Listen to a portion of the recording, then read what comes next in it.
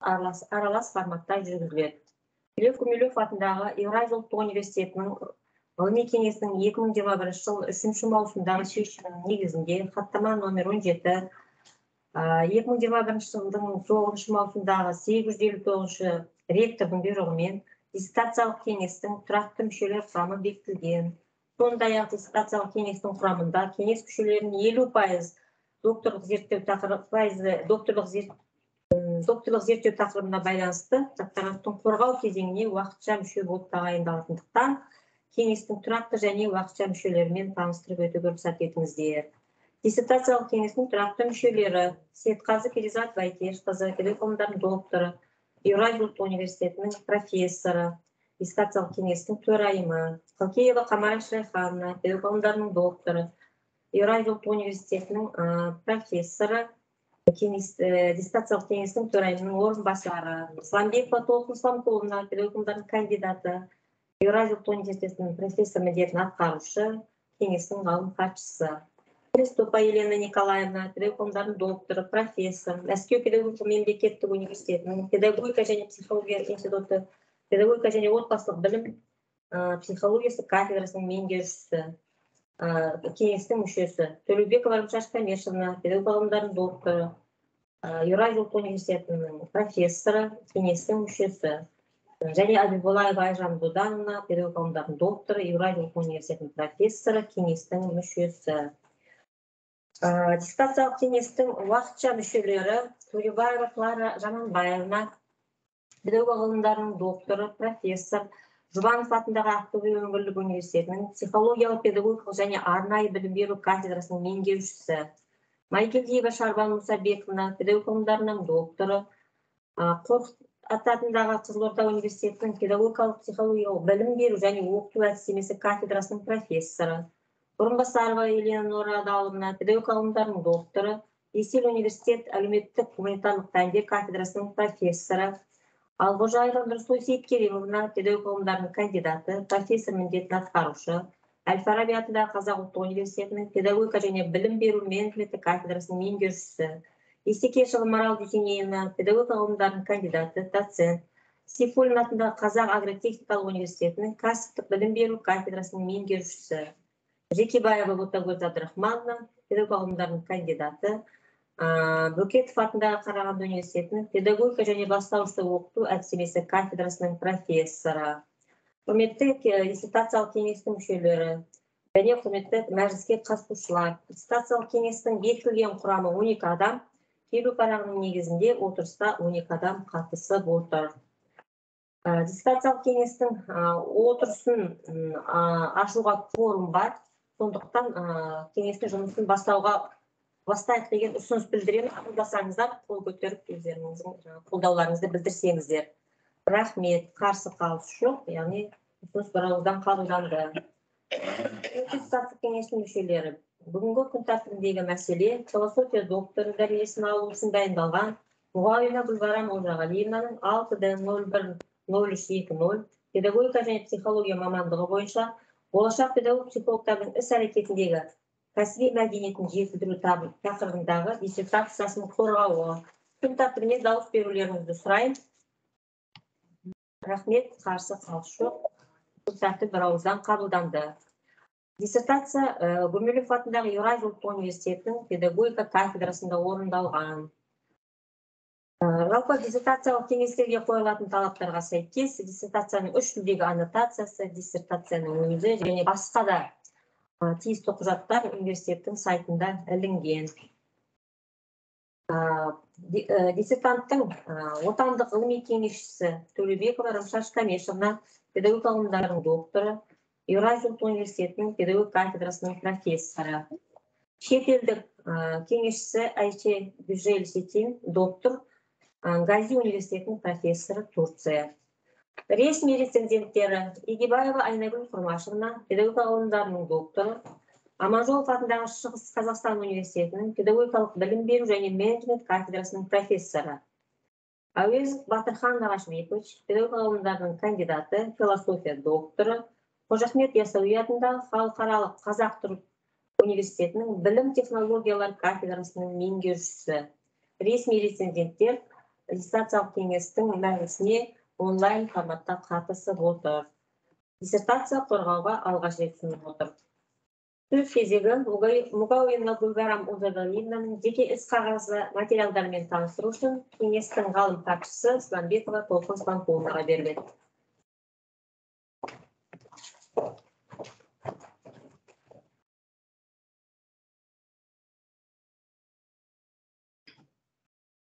Мугаина гүлбара молжағалиқызының диссертациялық қағазындағы құжаттарымен таныстыруға рұқсат етіңіздер. Мугаина гүлбара молжағалиқызының диссертациялық қағазында докторанттың өтініші және төмендегі құжаттар тіркелген. Мугаина гүлбара молжағалиқызы бір мың тоғыз жүз сексен бесінші жылы екінші қазанда атырау облысы индер ауданы көктоғай селосында туған. Ұлты қазақ. 2001-2005 жылдары атырау қаласындағы дүтбаева атындағы атырау гуманитарлық колледжінде негізгі мектептегі ағылшын тілі мұғалімі мамандығын бітірген. 2006-2010 жылдар аралығында досмұхамедов атындағы атырау мемлекеттік университетінің 050119 шетел тілі екі шетел тілі мамандығы бойынша бакалавр академиялық дәрежесін алған. 2012-2014 жылдары аймақтық әлеуметтік инновациялық университетінде 6 м 010300 педагогика және психология мамандығының мамандығы бойынша магистратурада оқып педагогика ғылымдарының магистрі академиялық дәрежесін иеленген. 2014-2016 жылдары досмұхамедов атындағы атырау мемлекеттік университетінің 5 в 05 бір мемлекеттік және жергілікті басқару мамандығы бойынша экономика және бизнес бакалаврын бітірген. 2005-2008 жылдар аралығында атырау облысы индер ауданы көктоғай селосындағы нысанбаев атындағы орта мектептің ағылшын тілі пәнінің мұғалімі қызметін атқарған. 2008-2011 жылдар аралығында халел досмұхамедов атындағы мемлекеттік университеттің академик профессор сейталиевтің қабылдауымен жалпы және халықтық педагогика кафедрасына конкурс пен лаборанттық қызметтен қабылданған.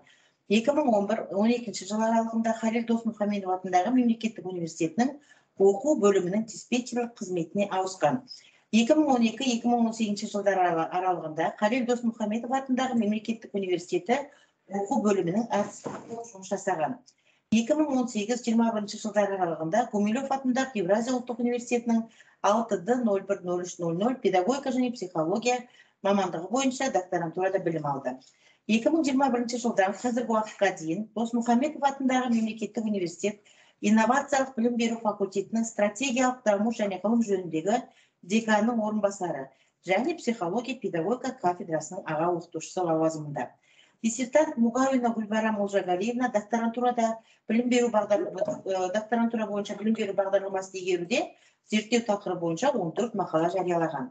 Диссертациялық қағаздардың ішінде жоғары білім туралы диплом көшірмесі педагогика ғылымдарының магистрі дипломының көшірмесі докторантура бағдарламасын толық игергендігі жөнінде транскрипт педагогика кафедрасы мәжілісінің хаттамасының көшірмесі тіркелген.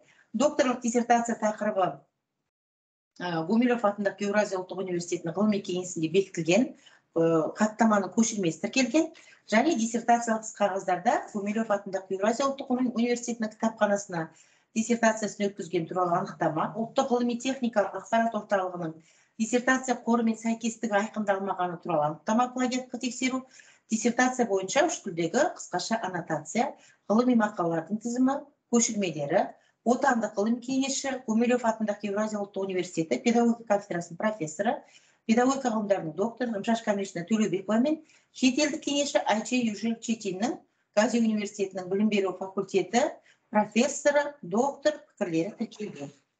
Рахмет докторантыңыз қағаздарына байланысты сұрақтарыңыз болса қоюға болады. Жоқ па сұрақ жоқ рахмет. Болса диссертацияның негізгі мазмұнымен таныстыру үшін сөз мұғауина гүлбарам ұлжағалиевнаға беріледі регламентті білесіз иә регламентке иә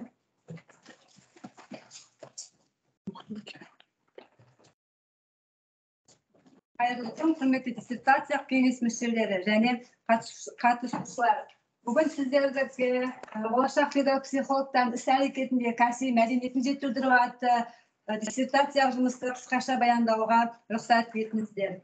Қазіргі таңда еліміздің жоғарғы білім беру жүйесіне оң өзгерістер енгізілуде. Болашақ маманды қоғам белсендісі креативті ойлайтын бәсекеге қабілетті рухани адамгершілік әлеуетке ие мәдениетті және шындықты жаңаға айналдыратын және өзгермелі жағдайларға бейімделе алатын мамандарға көптеп талаптар қоюда осы жаңа талаптардың бірі болашақ маманның іс әрекетіндегі кәсіби мәдениеті болып табылады. Қазақстан республикасында білім беруді және ғылымды дамытудың 2020-2025 жылдарға арналған мемлекеттік бағдарламасында адам капиталы және бәсекеге қабілетті кадрлардың сапасын арттырудың маңыздылығы маңыздылығы белгіленген болатын. Себебі бүгінгі күні біздің елімізге әлеуметтік әлеуметтік кәсіби және адами талаптарға жауап бере алатын жаңа идеяны туындатушы және құнды ойларды тасымалдаушы жаңа типтегі мамандар қажет. Бүгінгі жаңару қоғамда кәсіби маман даярлау мәселесі өзекті болып отыр. Өз ісінің шебері болу әрбір мамандық иесінің кәсіби міндеті. Сондықтан да әрбір әрбір білім алушының бойында мен болашақта мәдениетті өз ісімнің білікті де білімді маман болам деген мақсат міндеті болуы қажет. Бұндай позициядағы білім алушы қоғамымызға пайдасын келтірері сөзсіз. Осы мәселені шешуде болашақ маман даярлауда кәсіби мәдениетін жетілдірудің орны айрықша.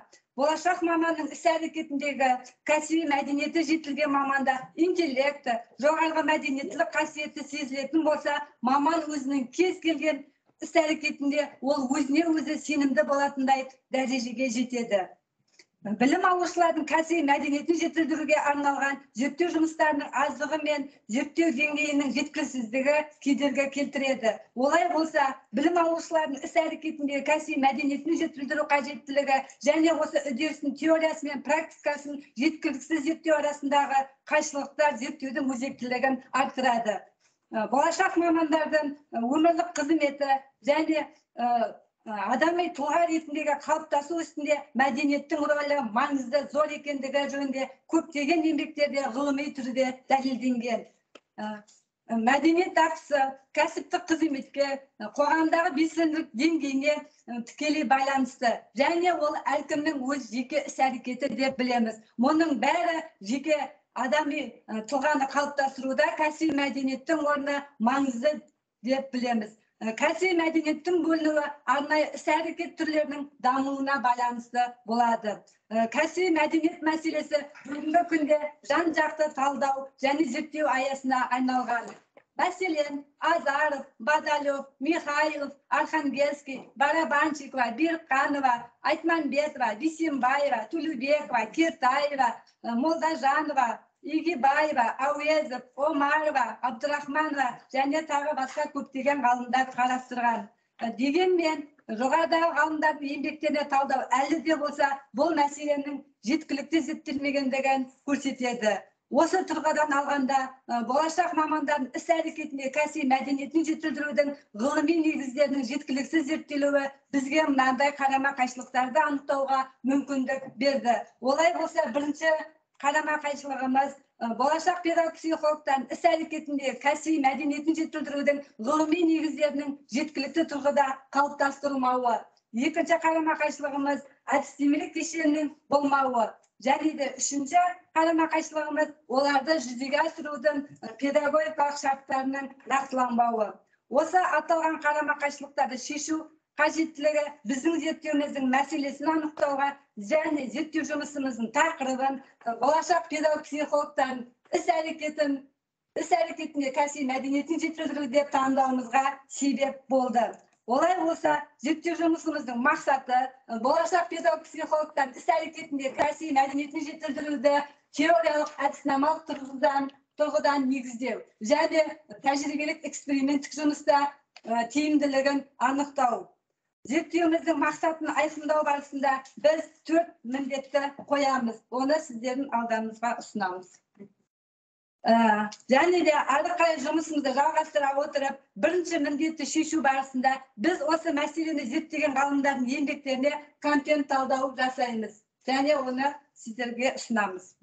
Ә, контент талдау үш аспектіге қарастырылады. Бірінші ә, философиялық аспектіде ғалымдар бахтин зинченко климов вишунский лернер және тағы басқа философтар өз еңбектерінде философиялық дүниетаным бұл жалпы түрдегі табиғат қоғам мәдениет адам туралы идеялардың тұтас жиынтығы және ә, педагогтың жеке басының құндылықтары мұраттары сенімдері жүйесінде көрініс ретінде қарастыратын болса психологиялық аспектіде мәдениеттің мәнін адамзаттың рухани энергиясын әлемнің дамуы ретінде деп қарастыратын болса педагогикалық аспектіде ә, кәсіби мәдениет бұл тұлғаның жеке және кәсіби қасиеттерінің жүйесінде сондай ақ оның кәсіби қызметінің ерекшелігінде болатын жалпы мәдениетінің маңызды бөлігі ретінде қарастырылады.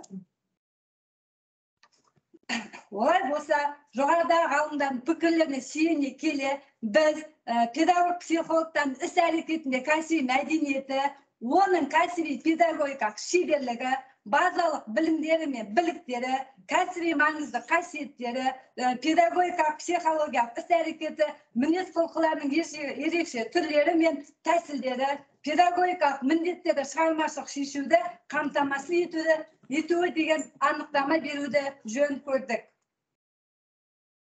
Зерттеу жұмысымыздың екінші міндетті шешу барысында біз болашақ педагог психологтардың іс әрекетіндегі кәсіби мәдениетін жетілдірудің педагогикалық шарттарын нақтыладық. Олай болса зерттеуіміздің алғашқы шарттарының бірі болашақ педагог психологтардың іс әрекетінде кәсіби мәдениетін жетілдіруде интеграцияланған білім беруді жандандыру болып табылады. Мұнда интеграцияланған білім беруді жандандыруда балон үдерісінің барлық аспектілері мүмкіндігінше іс жүзінде асырылуында. Бұл үрдістің бізге тиімді жерлері өте көп. Соның ішінде білім берушілер мен білім алушыларды басқа елдерге жіберу әртүрлі мәдениеттеріне тілдерге ұлттық жүйелерге құрметпен қарау университеттік автономиясы мен академиялық еркіндіктерді жетілдіру үздіксіз білім беру білім тәжірибе алмастырып біліктіліктерін арттыру аспектілері өте көп дұрыс қарастырылған. Онда білім берушілер мен білім алушылар бұл үдерісте білімдерін біліктіліктерін дағдыларын дамытып қана қоймай өз кәсіби шеберліктерін бәсекеге қабілеттілік қасиеттерін және де кәсіби мәдениеттіліктерін арттырады және жетілдіреді деп білеміз. Екінші шартымыздың зерттеу жұмысымыздың екінші шарты студенттердің ғылыми зерттеу жұмысы. Бұнда бұнда кәсіби мәдениетті жетілдірудің ерекшелігі жаңаға үнемі ұмтылудың шығармашылықпен жұмыс істеуге тәжірибе алмасуға әдебиеттер мен әріптестердің тәжірибесін жүйелі түрде зерделеуге конференцияларға қатысуға баяндамалар баяндамалар оқу эссе жазу рефераттар жазу жобаларға қатысу дөңгелек үстелдер үнемі жаңаға ұмтылыстар болып табылады. Сонымен қатар ғылыми зерттеу жұмысы мынандай біліктер мен дағдыларды дербестік тез тіл, тіл табыса білуін өзіне жауапкершілік алуға дайын болуын сенімділігін өз пікірін айта білуін төзімділікке мәдениет пен әлемге ашықтық көздерін ашу сондай ақ өз мәселелерін тыныш шешуіне басқа адамдармен қарым қатынасты реттеуге және сенімсіздікпен көрсетуге көмектесетін өзін өзі бақылауына тепе теңдік дағдыларын дамытуды көздейді. Біздің жұмысымызды әрі қарай жалғастыра отырып зерттеу жұмысымыздың тағы бір педагогикалық шарттарының бірі бұл интернет ресурстарын пайдалану бұнда болашақ педагог іс әрекетінде кәсіби мәдениетін жетілдіру болып табылады. Осы аталған интернет ресурстарын пайдалануда болашақ мамандардың іс әрекетінде кәсіби мәдениетін жетілдіруде сандық педагогиканың маңызы зор деп білеміз. Педагогика ғылымының категориялық аппараттарына қазіргі заманғы сандық педагогика термині берік енгені белгілі. Біріншіден жоғары оқу орындарда ақпарат коммуникациялық технологиялар білім мазмұнына айналды. Елімізде кез келген университеттің оқу жоспарында білім алушылардың бойында жалпы мәдени құзыреттіліктерді қалыптастыратын ақпаратты басқарудың әдістері мен технологияларын бір минут. Құрметті кеңес мүшелері онлайн форматта отырған сіздерге дауыс естіліп жатыр ма? Және презентация көрініп тұр ма? Иә сіздер ана сотқаларыңызды кішкене ауысып қойып еще микрофондарыңызды өшіріп отырсаңыздар. Мына жаққа шу келіп жатыр да.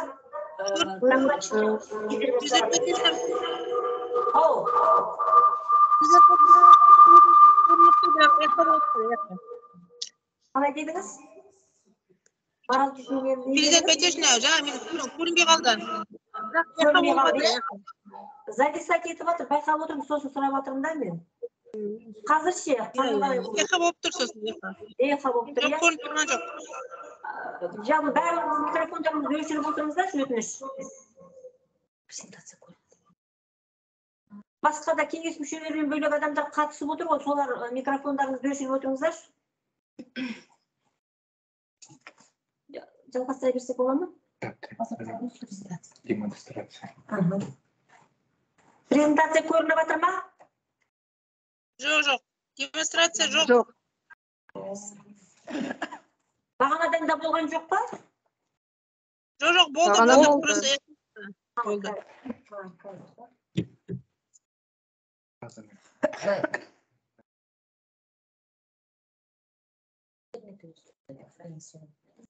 Буде еще такая. бұл да шаршады ғой таңертеңгісін бізден басқа қанша адам отыр десеңізші Иә. біз ғана болса дұрыс Мгм. ана қанша адам бағанадан бері қатысты олар қанша қазір кешірім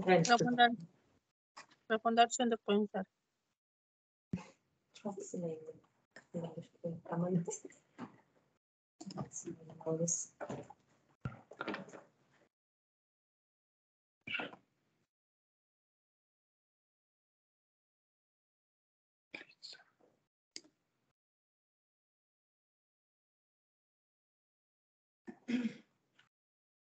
Взагалі менің темпіне неде интернетте жүре алмай жатыр жақсылап тұрып біздің негізге ілесе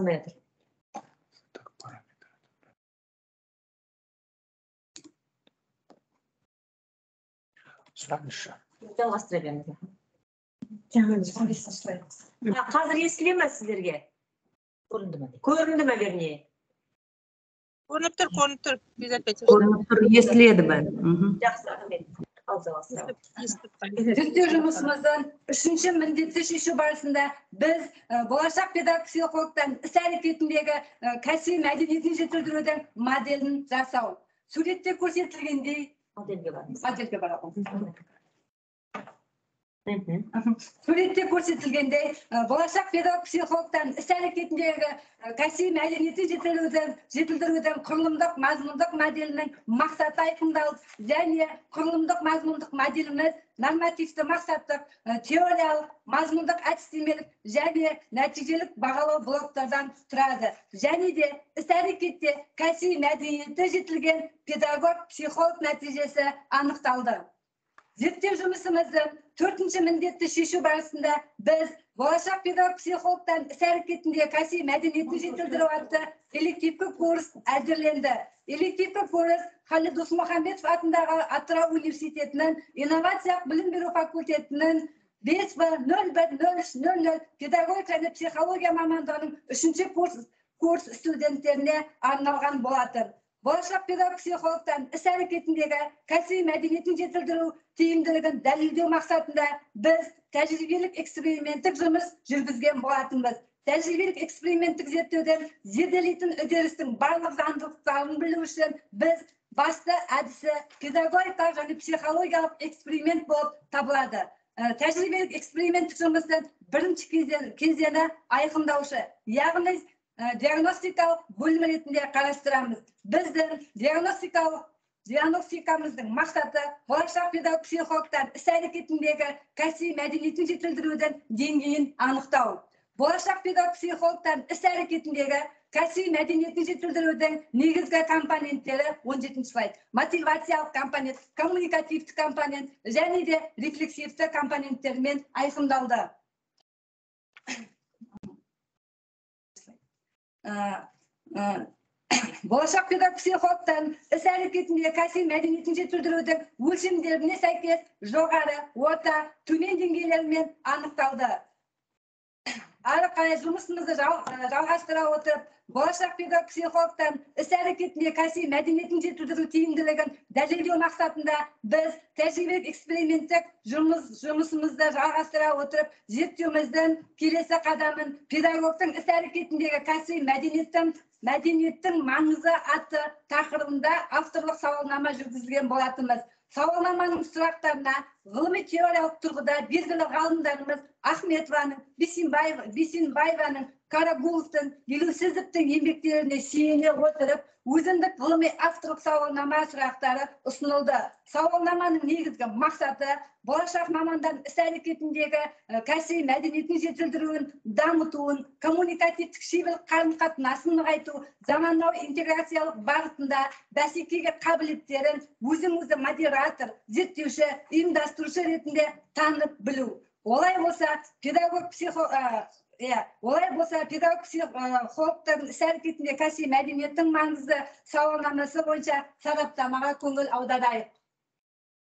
Он тоғызыншы слайд. Он тоғызыншы слайд. Жоқ. Келесі ма? Оның алдында. Осының алдында.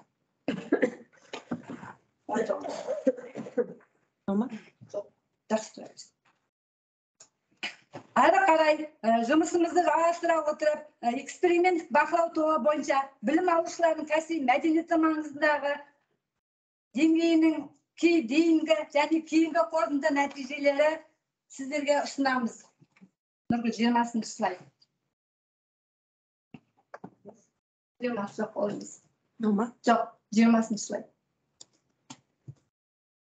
Иә осы. Сондай ақ жоғарыда аталған сауалнама сауалнамаға қатысқан білім алушылардың қорытындысын диаграмма түрінде ұсынуды жөн көрдік. Оны және сіздердің назарларыңызға ұсындық. Біз сауалнаманың қорытынды нәтижесін алу үшін ә, педагогтың кәсіби мәдениеті деңгейін- деңгейінің диагностикалық картасы белоусова бондаревская педагогикалық мәдениет деңгейінің диагностикалық картасы негізінде әзірленгенін қаперлеріңізге береміз. Зерттеуімізді әрі қарай жалғастыра отырып болашақ педагог психологтар іс әрекетіндегі кәсіби мәдениетін жетілдіру тақырыбындағы көптеген зерттелген ғылыми зерттеу жұмыстары сіздерге ұсынамыз. Бағанағы ендірген акттер мақалалар солар. Жиырма бірінші слайд.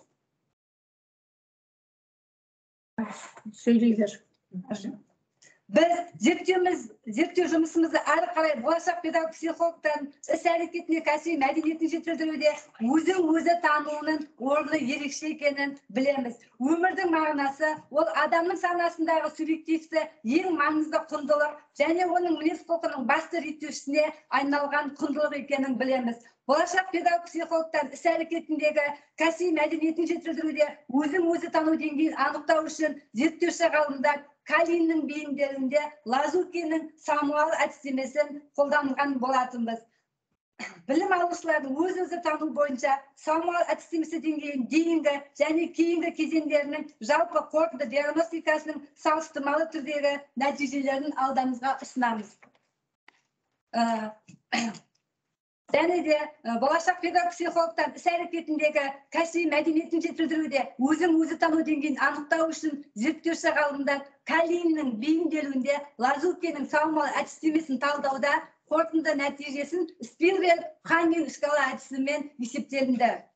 Әрі қарай жұмыс жұмысымызды жалғастыра отырып болашақ педагог психологтар іс әрекетіндегі өзін өзі дамыту арқылы кәсіби мәдениетін жетілдіру факторларының деңгейін анықтау үшін біз аяқталмаған ұсыныстар әдістемесін қолданған болатынбыз және оны қорытынды нәтижесін алдымызға ұсынамыз. Жиырма жетінші суретте көрсетілгендей педагог психологтар іс әрекетіне кәсіби мәдениетін жетілдірудің деңгейін және оның ә, компоненттерін сіздерге қалыптасу деңгейін сипатталған көрініс береміз.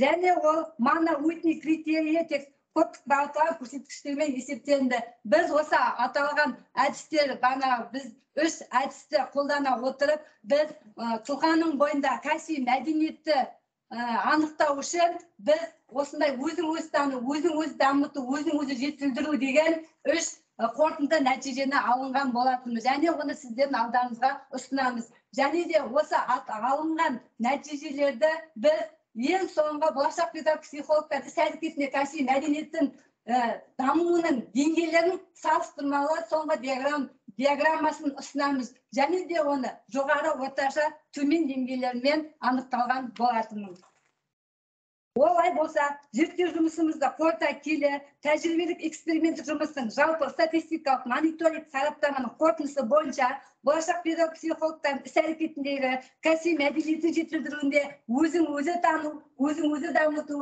өзін өзі жетілдіру деңгейлері ұсынған болатынбыз сонымен жұмысымызды қорытындылай келе біз соңында қорытындыны тұжырымдап өзіміздің ұсыныстарды берген болатынымыз назарларыңызға үлкен рахмет жақсы рахмет гүлбара молдағалиевна құрметті кеңес мүшелері диссертант баяндамасын аяқтады кезекте сұрақтарыңызды қоя беруге болады онлайн форматта отырған кеңес мүшелері сұрақтарыңыз болса біртіндеп бере беріңіздер гүлбара молдағалиевна жаздылар сұрақ бар ма екен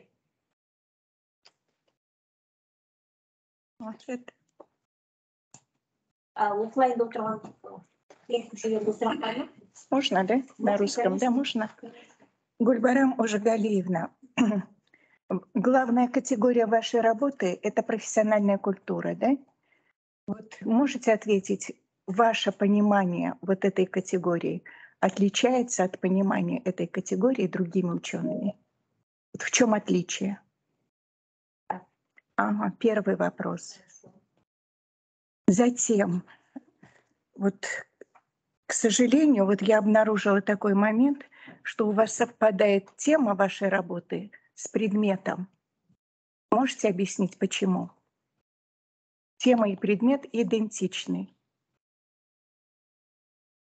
И вы знаете, вот в русском варианте, да, э, вот тема звучит совершенствование, а дальше в задачах появляется новая категория повышения. Мгм. А в казахском варианте, между прочим, все правильно. Вот единственное в русском варианте, да, вот это вот где-то, где-то вот это вот появляется. Три вопроса Елена Всё. Мгм. жазып жазып болдың ба айта аласың ба жүре алмай қалдым екінші сұрақ Второй вопрос повторите пожалуйста Так, тема вашей работы совпадает с предметом. Неге? Почему? Ага. Онда мен қояйын Мгм, мгм. гүлбарам сіз і, мына жерде жеке тұлғаның кәсіби жетілдіру мә- м, кә- кәсібіндегі мәдениетті жетілдіру деп алып тұрсыз иә түпкі идеяңыз сол Сонда осы мәдениетті жетілдіруге қандай факторлерді сіз анықтадыңыз? Қандай факторлар әсер етеді? Бұл бірінші сұрақ. Екінші сұрақ. Сіз өзіңіз эксперименттік жұмысында көп қолданған әдістеріңіздің бірі әңгіме әдісі екен. Сол әңгіме әдісін жүргізгенде қандай мақсатты көздедіңіз? Қандай ақпарат алғыңыз келіп сол ә- әңгіме әдісін жүргіздіңіз? Бұл екінші сұрақ. Үшінші сұрақ. Сіз мына жерде осы ізденіп отырған ә, құндылық қасиетті жетілдіруде сіз екі нені қарастырған екенсіз. Бірінші дидактикалық не екінші ә, дидактикалық деп алғансыз содан кейін ә, педагогикалық деп алғансыз. Осы екі, екеуінің ара жігін ажыратып беріңізші. Педагогикалық шарт дегеніміз не? Және дидактикалық шарт дегеніміз не? Екеуі бірдей ұғым емес пе екен? Жоқ әлде екеуі екі түрлі ұғым ба екен? Соны қа- қай неде қарастырдыңыз? Осы үш сұраққа жауап берсеңіз. Жақсы. Келесі тағы кімнің сұрағы бар? Сұрақтар болады ма? Иә иә. Болады болады. Мұсабекова гүлбарам олжагалиевна менің бірінші сұрағым осындай. Және мына сіздің диссертация жұмысыңызда жақсы таныстым. Мәдениет ұғымына өте жақсы сипаттама беріп отырсыз. Ы, біраз ғалымдардың ой пікірлеріне сүйеніп отырсыз. Бірінші сұрақ. Мына педагог мәдениетінің компоненттерін ашқан кезде мына екінші суретте көрсетіп отырсыз ғой. Қандай белгілі әдіснамалық тұжырымдамаларға сүйендіңіз? Екінші сұрағым. Жаңа айнагүл апайдың баға сұрағына кішкене ұқсас. Э, не себептен э, шыннан сіздің диссертация тақырыбыңыз ә, зерттеу пәнмен бірдей. Сосын үшіншісі осы жерге қосу керек. Ә, элективті курсты беріп отырсыз ғой. Ол элективті курстың да ә, атауы осындай. Идентичная. Үшінші сұрағым мына ә, міндеттерге байланысты. Жұмысыңызды толық көріп шықтым өте жақсы. Мына төртінші сіз баға беріп жатқан жаңағы жетекші идеяңызды ә, ғылыми болжамыңызды ә, әдістемелік жағынан баға жақсы қамтамасыз етіп эксперимент жұмыстарын өткізіпсіз баға не себептен мына зерттеу міндеттеріне сіз төртінші міндетті мына элективті курсты әзірлеу деп қоя салдыңыз да жаңағы тәжірибелік эксперимент жұмыс туралы дәлелдеу сондай жаңағы міндет қойылмапты жұмыста все прекрасно доказано. Ойлаймын жаңағы бесінші міндет қылып па или төртінші міндетпен ба бірге қосу керек. И төртінші сұрағым ә, скопус базасында веб сайс базасында жаңағы екі мақалаңыз шығыпты. Ә, сол ә, журналдардың процентелі қандай екен? Рахмет. Төрт сұрақ иә рахмет шарбан мұстабек так. Келесі тағы сұрақ бар ма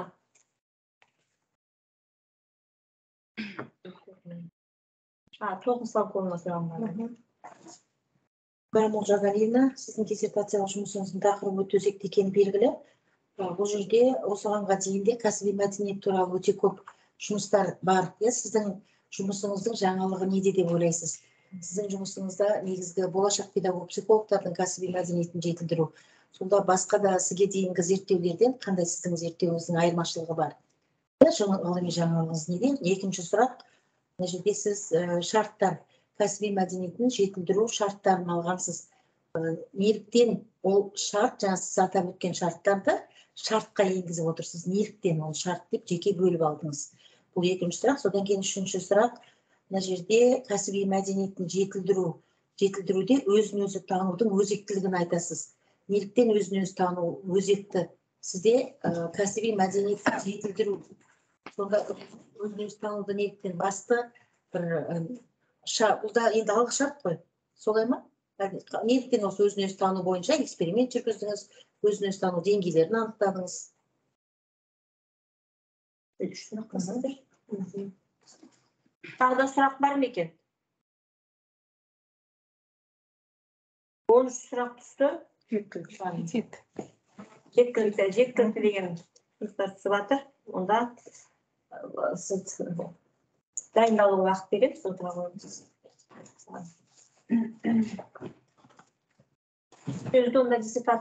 диссертаттың отандық ғылыми кеңесшісі жол ғылымдарының докторы профессор анташ кемешкинаға береміз.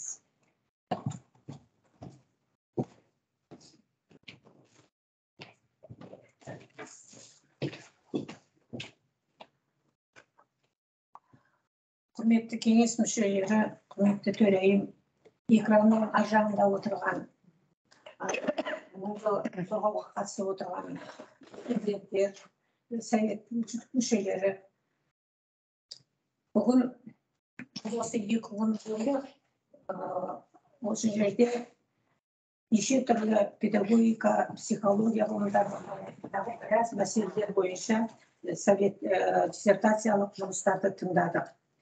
Бүгінгі күнде әрине мынау заманның өзгеруіне байланысты қоғамда әртүрлі саладағы ғылымдарға қойылып жатқан талаптар өте жоғары егер біз тарихқа көз жіберіп қарайтын болсақ қай кезеңде де болмасын білімге өте білімді құндылық деп қарастырып білімге өте көп жұмыстар жазылғандығы белгілі өйткені біз қазір әлемді немен қызықтыра аламыз? Әлемге біз өзімізді қалай таныта аламыз деген сұрақтар туындайтын болса қазір біздің мына білім мен ғылымымыздағы болып жатқан жаңалықтармен әлемге өзімізді көрсете алады екенбіз. Міне осы мұнда білім тек білім ретінде қалмау керек. Білім кәсіптікке жүз- кәсіби жұмыста жүзеге асырылып сол жұмыстардың нәтижесінде алған білімдерін мамандар болашақта жетілдіріп отыру керек. Туралы мемлекеттік құжаттарда болсын қазіргі қабылданып жатқан жоғарғы оқу орындарының стратегиялық бағыттарында болсын осы мәселелер үлкен мәселе болып көтеріліп жатыр. Мынау осыған дәлел ретінде мен сіздерге мына президенттің мына бір сөзін айтып кеткім келеді. Жаңа қазақстан жаңғыру мен жаңару жолы деп аталған жолдауында егеменді елдің ертеңі тек бәсекеге қабілетті білімді жастардың қолында екенін атап өтті. Адал еңбек пен озық білімге не үздік тәжірибелі мамандар жаңа қазақстан құрудағы басты құрамдас бөліктері екендігін көрсетті. Президент атап көрсетті. Өйткені бүгінгі күндегі ең басты мәселе мынау университет қабырғасынан шыққан мамандар университет қабырғасында алған білімді болашақта мынау бәсекеге қабілетті маман ретінде жүзеге асыра білу. Міне осы мәселені осы мәселені айта келгенде бүгінгі күнде үлкен қоғамдағы үдемелеп дамып жатқан интеграциялық мәселелер үдерістер еңбек нарығында еркін жұмыс істей алатын бәсекелестікке қабілетті мамандар даярлау мәселесін жан жақты философиялық педагогикалық психологиялық қырынан әртүрлі деңгейде жұмыстар бүгін өте жақсы жасалып жатыр. Бұл өте қуанышты нәрсе. Өйткені осы мәселелерді шешу барысында мен мынандай бір ііі үш нәрсеге тоқталғым келеді. Біріншіден бүгінгі болашақ мамандарды даярлауда бәсекелікке қажеттілікті дамыта алатын пәндер жүйесі енгізіліп сол пәндерде пәндердің алған білімін маман кез келген ортада кез келген қарым қатынас ортасында сонымен жұмыс істей алатындай болу керек. Сондықтан білім беру жүйесінде заман талабына сай білім мен ғылыммен қатар шығармашылықпен еңбек ете алатын нарық нарық заманда бәсекеге қабілетті мамандар даярлау мәселесі бүгінгі күнде өзекті өте өзекті болып тұр. Осыдан осы екіншіден айтатын болсам ә, жалпы болашақ педагог маманды кәсіпке бейімдеу ол кәсіби білімге бейімдеу кәсіпке бейімдеу мәдениетке бейімдеу мәселелерінің бәрі бұл жоғарғы оқу орнындағы алған білімге байланысты болады. Енді біз айтамыз бүгінгі күнде жас маман мобильді болу керек дейміз жас маман құдіретті болу керек дейміз құзыретті болу керек дейміз. Еңбек нарығында алған білімімен өзінің алған білімін қоғамдық өмірде пайдалана алатындай болу керек дейміз. Осының осы кезде міне бүгінгі күнде біздің мына қоғамда болып жатқан цифрландыру мәселесі. Цифрландыру мәселесінде болашақ іс әрекетінде маманның технологияларды меңгере білу мәселесі.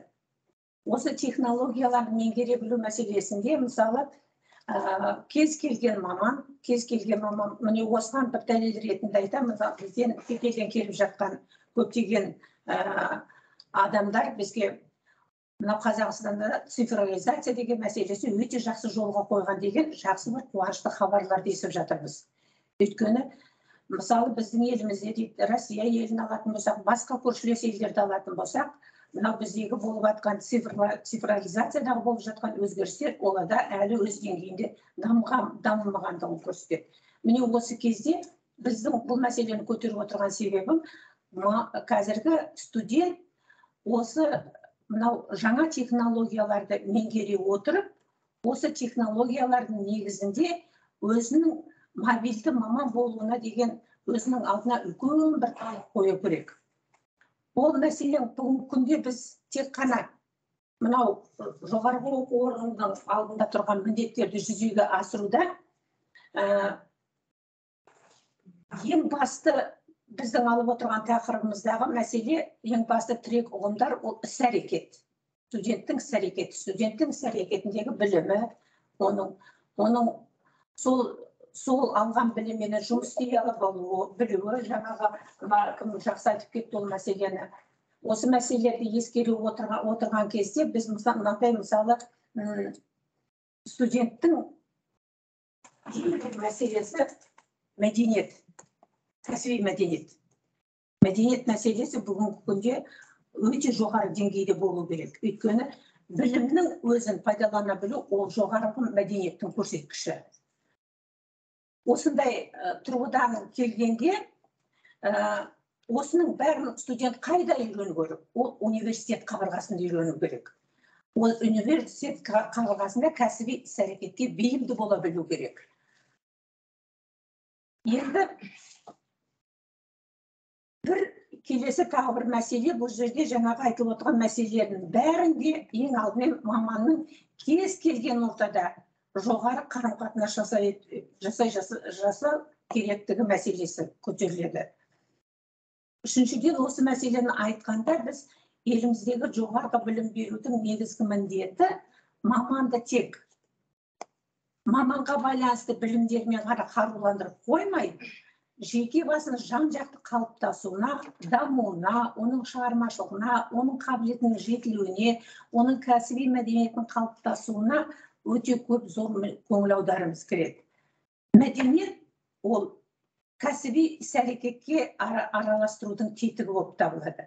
Осы мәселеге келген кезде мысалы бүгінгі күнде мынау гүлбарам осы мәселені қандай тұрғыда зерделеді? Қалай осы мәселені дәлелдейтін дейтін болсақ гүлбарамның енді жалпы мен мынау диссертацияның бүкіл құндылығын диссертациядағы осы қазіргі мазмұнын айтпаймын. Өйткені осыған ы бізге арнайы осы диссертациялық жұмысты оқып жан жақты талдаған бізде белгілі ғалымдар қазір оппоненттер өздері айтады. Диссертацияның құндылық жағын диссертацияның бүгінгі күні қол жеткізген мәселесі жағынан. А мен осы жерде қазір тек қана мынау зерттеушінің осы мәселеге зерттеу барысындағы өзінің ізденісіне тоқтағым келеді. Тақырыпты алған кезде әрине ә, бұл тақырыпта бұл мәселеде біз нені қарастырамыз? Не істейміз деген сұрақтар өте жақсы қойылып отырды. Мысалы бір алматыдың ұлттық педагогикалық абай атындағы ұлттық педагогикалық университетінде мен сол жерде кандидатский қорғадым докторский қорғадым сол кезде диссертациялық совет кеңестің председателі педагогика ғылымдарының докторы профессор хмель надежда дмитриевна үнемі айтатындар егер диссертант осы алған тақырыбында осы зерттеуші ғалымдарды жүйелеп олар не істеді? Оның қандай еңбектері деген мәселені бәрін анықтап жүйелейтін болса бұның өзі жаңалық деп есептеледі дейтінді. Осы тұрғыдан келгенде әрине мен мынау кімнің өте сондай бір ы, ыждахатты түрде осы мәселені зерттеген ғалымдарға жасаған талдауына өте қатты риза болдым.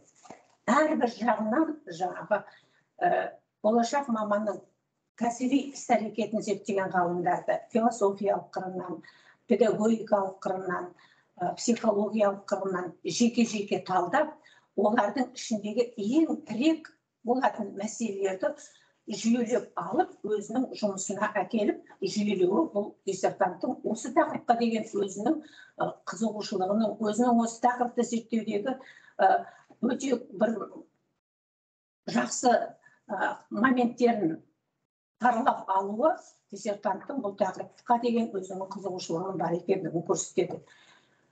Өте тақырып Гү- гүлбарам кез келген сұраққа кез келген ашылмай жатқан нәрсеге консультация алуға келген кезде өзіндік бір позициясымен дәлелдей алды. Бұл не деген сөз? Бұл осы тақырыпты зерттеу барысында диссертанттың бұл тақырыпты жан жақты талдағандығын көрсетеді. Екіншіден мынау қазіргі диссертация жазуға қойылып отырған талапқа деген өзінің соған деген көзқарасы жоғары болды. Кейбір моменттерде біз әр уақытта да қазіргі кезде біз тек консультантпыз ы, осы жұмыстарда біз кейбір мәселелерге сұрақ қойған кезде бұл өзіндік бір соған деген подходын көрсетіп отырды. Мен бұған өте риза болдым. Сондықтан та- бұл тақырып өз деңгейінде жақсы талданды деп ойлаймын. Теориялық жағы жақсы ашылды. Тәжірибелік эксперименттік жолдарын теорияда қойған мәселелерді тәжірибелік эксперимент жолда дәлелдей білді жұмыс аяқталды жақсы орындалды. Мен жұмыс бітті деген ниетпенен осы ә, гүлбарамға осы жұмысты әрі қарай осы деңгейде қалдырмай әлі де болса осы осы жұмысты ары қарай зерттейді деген үміттемін. Жақсы. Рахмет тілешұлына мен өйткені бұның қысқаша айтып тұрған себебім жазбаша жазған менің пікірім тапсырылды ол сайтта тұр сондықтан бәріміз сонымен таныстық ғой деген оймен айттым рахмет шетелдік кеңесшісі докторанттың философия докторы гази университетінің профессоры әйшежі чекеннің пікірімен таныстырылсын сөз диссертациялық кеңестің ғалым хатшысы батырбек полковнаға беріледі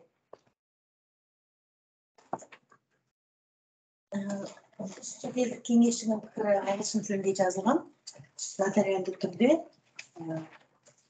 нотариус қызметкерлердің көмегімен бұл қазақ тіліне аударылған сондықтан соған қазақ тіліне аударылған нұсқасын ұсынуға рұқсат етіңіздер. Алты нөл бір нөл үш нөл нөл педагогика және психология мамандығы бойынша философия докторы дәрежесін алу үшін дайындалған мугавина гүлбара молдағалиевнаның болашақ педагог психологтардың іс әрекетіндегі кәсіби мәдениетін жеткізу тақырыбындағы диссертациясына пікірі қазіргі кезде кәсіби мәдениетті меңгеру педагогтың кәсіптік іс әрекетінің табыстылығы мен нәтижелілігінің негізі ретінде жоғары білімді педагогтардың біліктілігін арттыру жүйесінде кәсіптік оқыту процесінің басты бағыты болуы қажет болашақ мамандардың өмірлік қызметі және тұлға ретінде қалыптасу мәдениетінің маңыздылығы көптеген ғылыми еңбектерде дәлелденуде мәдениет дағдысы кәсіптік қызметке қоғамдағы белсенділік деңгейіне тікелей байланысты.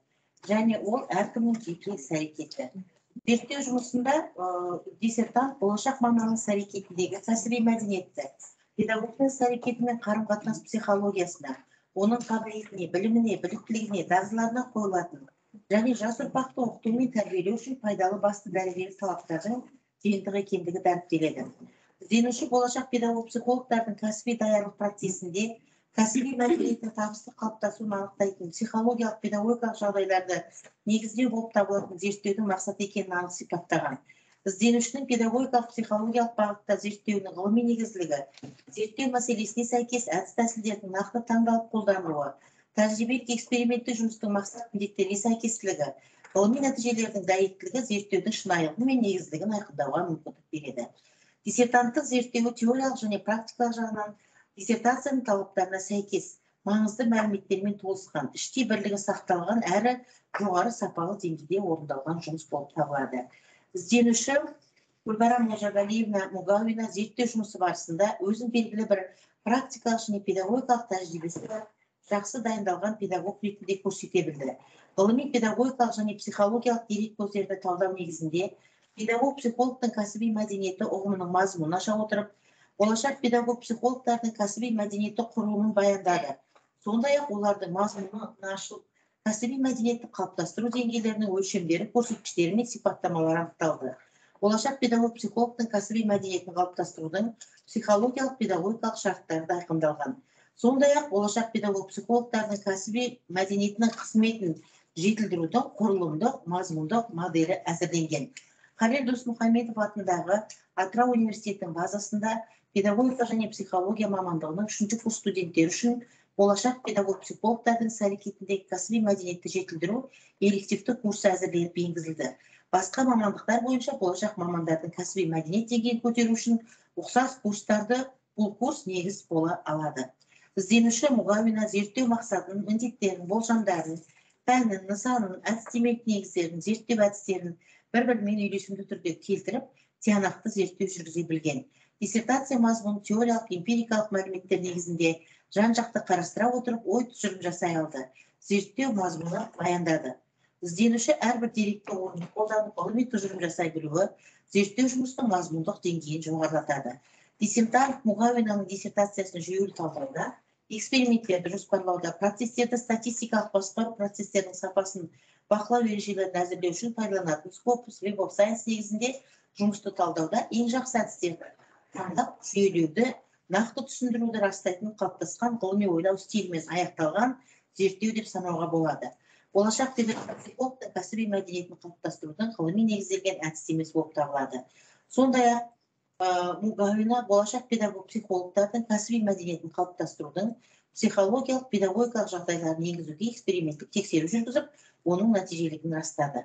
Зерттеу нәтижелері болашақ педагог психологтардың кәсіби мәдениетін жетілдірудің мақсатты процесін құрудың теориялық негізі бола алады. Барлық қойылған міндеттер шешіліп олар бойынша жаңа нәтижелер алынған автордың ғылыми жарияланымдарына көріс тапқан атап өткен жөн. Мұғауина гүлбарам олжагалиевнаның болашақ педагог психологтардың іс әрекетіндегі кәсіби мәдениетін жетілдіру тақырыбындағы диссертациясының ғылыми зерттеу жұмысына қойылатын талапқа толық сәйкестігіне негізделе отырып көпшілік алдында қорғауға болады деген қорытынды жасауға болады. Шетелдік ғылыми кеңесші гази университеті гази университетінің профессоры доктор анкара түркия айче южет читин жақсы рахмет тоқсан қолға солай болса сұрақтарға жауап беру сөз жүзеғалиевнаға беріледі. Дайынсыз ғой иә?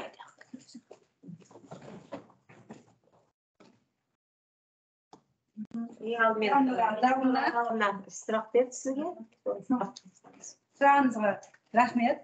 Ә, сіздің бірінші бірінші сұрағыңыз ә, қазақша жауап берсем. Зерттеу пәні сәйкес келмейді деп айтқан едіңіз. Ә, себебі болашақ педагог әрекетінде іс әрекетінде кәсіби мәдениетін жетілдіру деп біздің біздің зерттеген тақырыбымыз сондай болғандықтан біз солай алуды жөн көрдік. Ә, екінші екінші сұрағыңыз бен үшінші үшінші сұрағыңызды қабыл алып оны ә, аудару орыс орыс орыс тіліне аударуда бір техникалық қателіктер кетті деп М. ойлаймын алдағы уақытта ол қателіктерді жібермеуге тырысамын мхм бір сұрақ қой иә А еще профессиональная культура. Ваше понимание профессиональной культуры. Вы пришли к своему пониманию или нет? Мен біз дана өзіміздің зерттеу зерттеу жұмысымызда және де мен өзіміздің қысқаша баяндамамызда кәсіби мәдениет ұғымын жалпы і болашақ маманның базалық біліктері білімдері дағдылары және оның кәсіби педагогикалық шеберлігі қазіргі тұста сондай жөн сондай анықтама беруді жөн көрдік сондай жөн болды И это отличается, да, от видения другими учеными этой категории? Ә, қазір мен ы, көптеген ғалымдардың еңбектерін қараған болатынмын Ә, қазіргі кезде олардың көбі бағанағы мәдениеттің бір бөлігі ретінде қарастырған бірақ біздің аталған анықтамамыз ол басқа да ғалымдармен бір аз кішкене айырмашылықтар болғанын дәл көрдік бар дейсіз иә бар. А в чем? Ну ладно. Все, все, все. тамара райханованың үш сұрағы бар еді соған жауап бере қойсаңыз? Тамара сіздің бірінші сұрағыңыз ә, кәсіби жетілдірудегі біз ә, ә, тұлғаның дамуын дамуына қандай факторлар әсер етеді деген болатын мен ол тек қана төрт факторларды атауды жөн көрдім бірінші оқытуға тұлғалық әрекеттік тәсілді енгіздіру екінші ә, білім беру жүйесіне мәдени білім элементтерін енгізу. Үшінші зерттеу қызметін ұйымдастыру. Төртінші практикалық қызметті әзірлеу және оны іс жүзінде ұйымдастыру. Жақсы. Екінші сұрағыңыз ә, сіз нақтылау экспериментінде әңгімесі әдісін әдісін көп қолданған болады соның мақсаты неде? Нені анықтадыңыз мен сізге қысқаша жауап қайтарсам жалпы оның мақсаты бірінші сол ын- ынтымақтық ә, сол не ынтымақтастық қабілеттерін арттыру бірінші. Екінші болашақ мамандықтың ерекше ер- ерекшеліктерін ұғынып алу қажет тұлға. Екінші тапсырмаға қызығушылығын көбейту. Арттыру Аха. екінші сол ә, тапсырманы орындау ә, талаптарын ұғына білу. Солай деген ә, тұжырымды мақсат. жасауға қорытындыға келдім. Сол мақсатта. Сол мақсаты сол. Сол жүргізілді. педагогикалық шарт пен дидактикалық шарттың айырмашылығы неде? ара жігін ашып көрсетші иә. Ә, жалпы ы, педагогикалық шарт деген ы, оқыту мен ы, тәрбиелеудің мақсатын міндеттерін әдістері мен ұйымдастыру түрлерін қарастырады. Ал дидактикалық шарт бұл міндеттерді тиімді шешуге ықпал ететін мазмұнды элементтерін әдістерін формаларын оқыту құралдарын таңдау жобалау қолдану нәтижелері болып табылады деп сонда сіздің ойыңызша екеуі екі категория ма? Жоқ әлде бірдей категория ретінде қарастырыламыз ба? Жалпы екеуі екі категория ретінде қарастырамыз. Все достаточно. Жақсы. Онда шарбан мұсабекованың төрт сұрағы бар еді.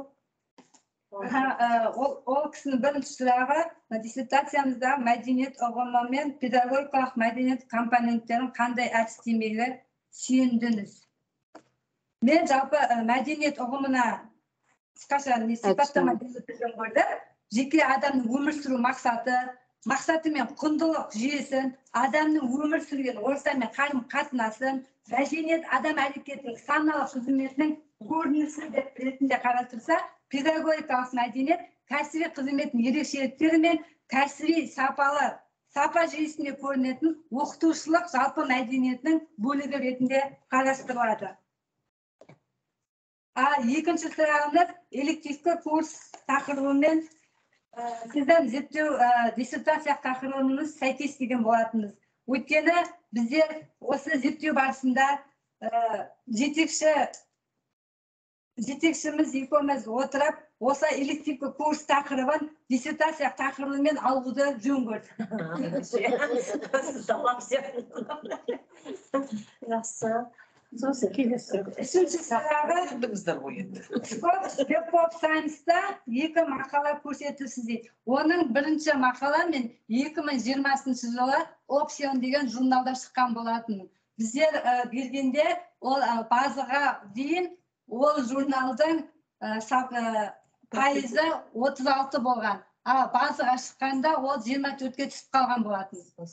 А екінші скопусымыз кипр журналына деген журнал болатын. Ол от, біздің мақаламыз шыққанда ол 33 пайыздықты берсе қазіргі кезде ол журналдың рейтингісі 39 пайызға көтерілді.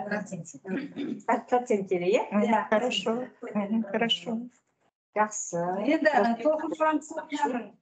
толқын францияның сұрағына көшетін болсам толқын францияна сұрағыңызға рахмет тоқтай тұрыңыз шарбан мұсабековнаның төртінші сұрағын айттыңыз ба айт айт иә иә жауабында қанағаттандыңыз ба тағы бір сұрақ бар еді ғой міндеттері туралы бір сұрағы бар еді сол ғой менің көріп тұрған бір сұрағым қай сұрағыңыз қайталап жіберіңізші қалып қойған А, мына зерттеу мақсаты а, төрт зерттеу міндеттерін айқындап отырың отырсыз. Жұмыста өте жақсы тәжірибелік эксперимент жұмыстар өткіздіңіз. Сол рахмет шарбан мұсабековна біз ә, ол жалпы біздің міндетімізде болған оны кейін жетекшіміз екеуміз ә, отыра бірлесе отыра отырып оны мақсатқа мақсатқа емес тәжірибелік эксперименттік жұмыстан алды иә? Иә? Сұрақ топтың? Мақсатқа енгіздік. Мақсатына енгіздік иә. Мақсатында тұр.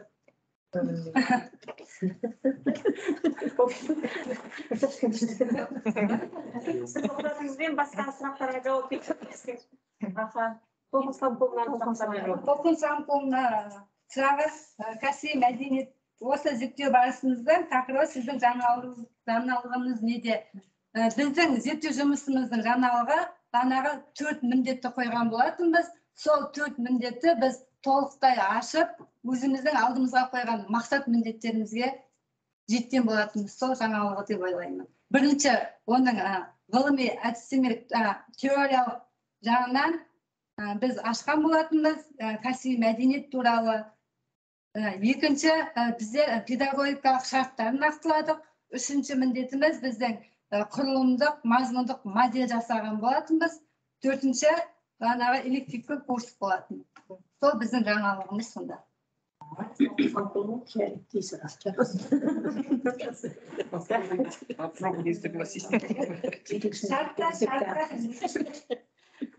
Негіздеп алып отырсыз дейді.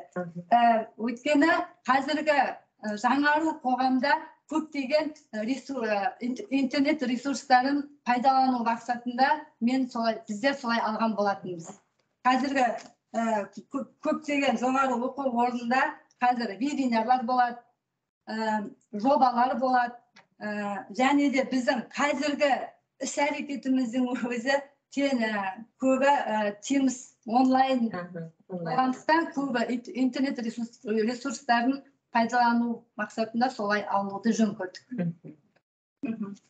Тағы бір тағы бір иә? Тағы бір сұрақ кәсі- осы болашақ педагог психологтардың іс әрекетінде кәсіби кәсіби мәдениетін жетілдіруде өзін өзін өзін өзі тану басты эксперимент қылып алуыңыздың себебі не- неде дейді? Жалпы жеке тұлға ең бірінші өзін өзі танып білу керек. Сондықтан өзін өзі танып білуінде біз біз алдымызға сол өзін өзі тану арқылы біз ы, кәсіби мәдениетті шығарамыз деп.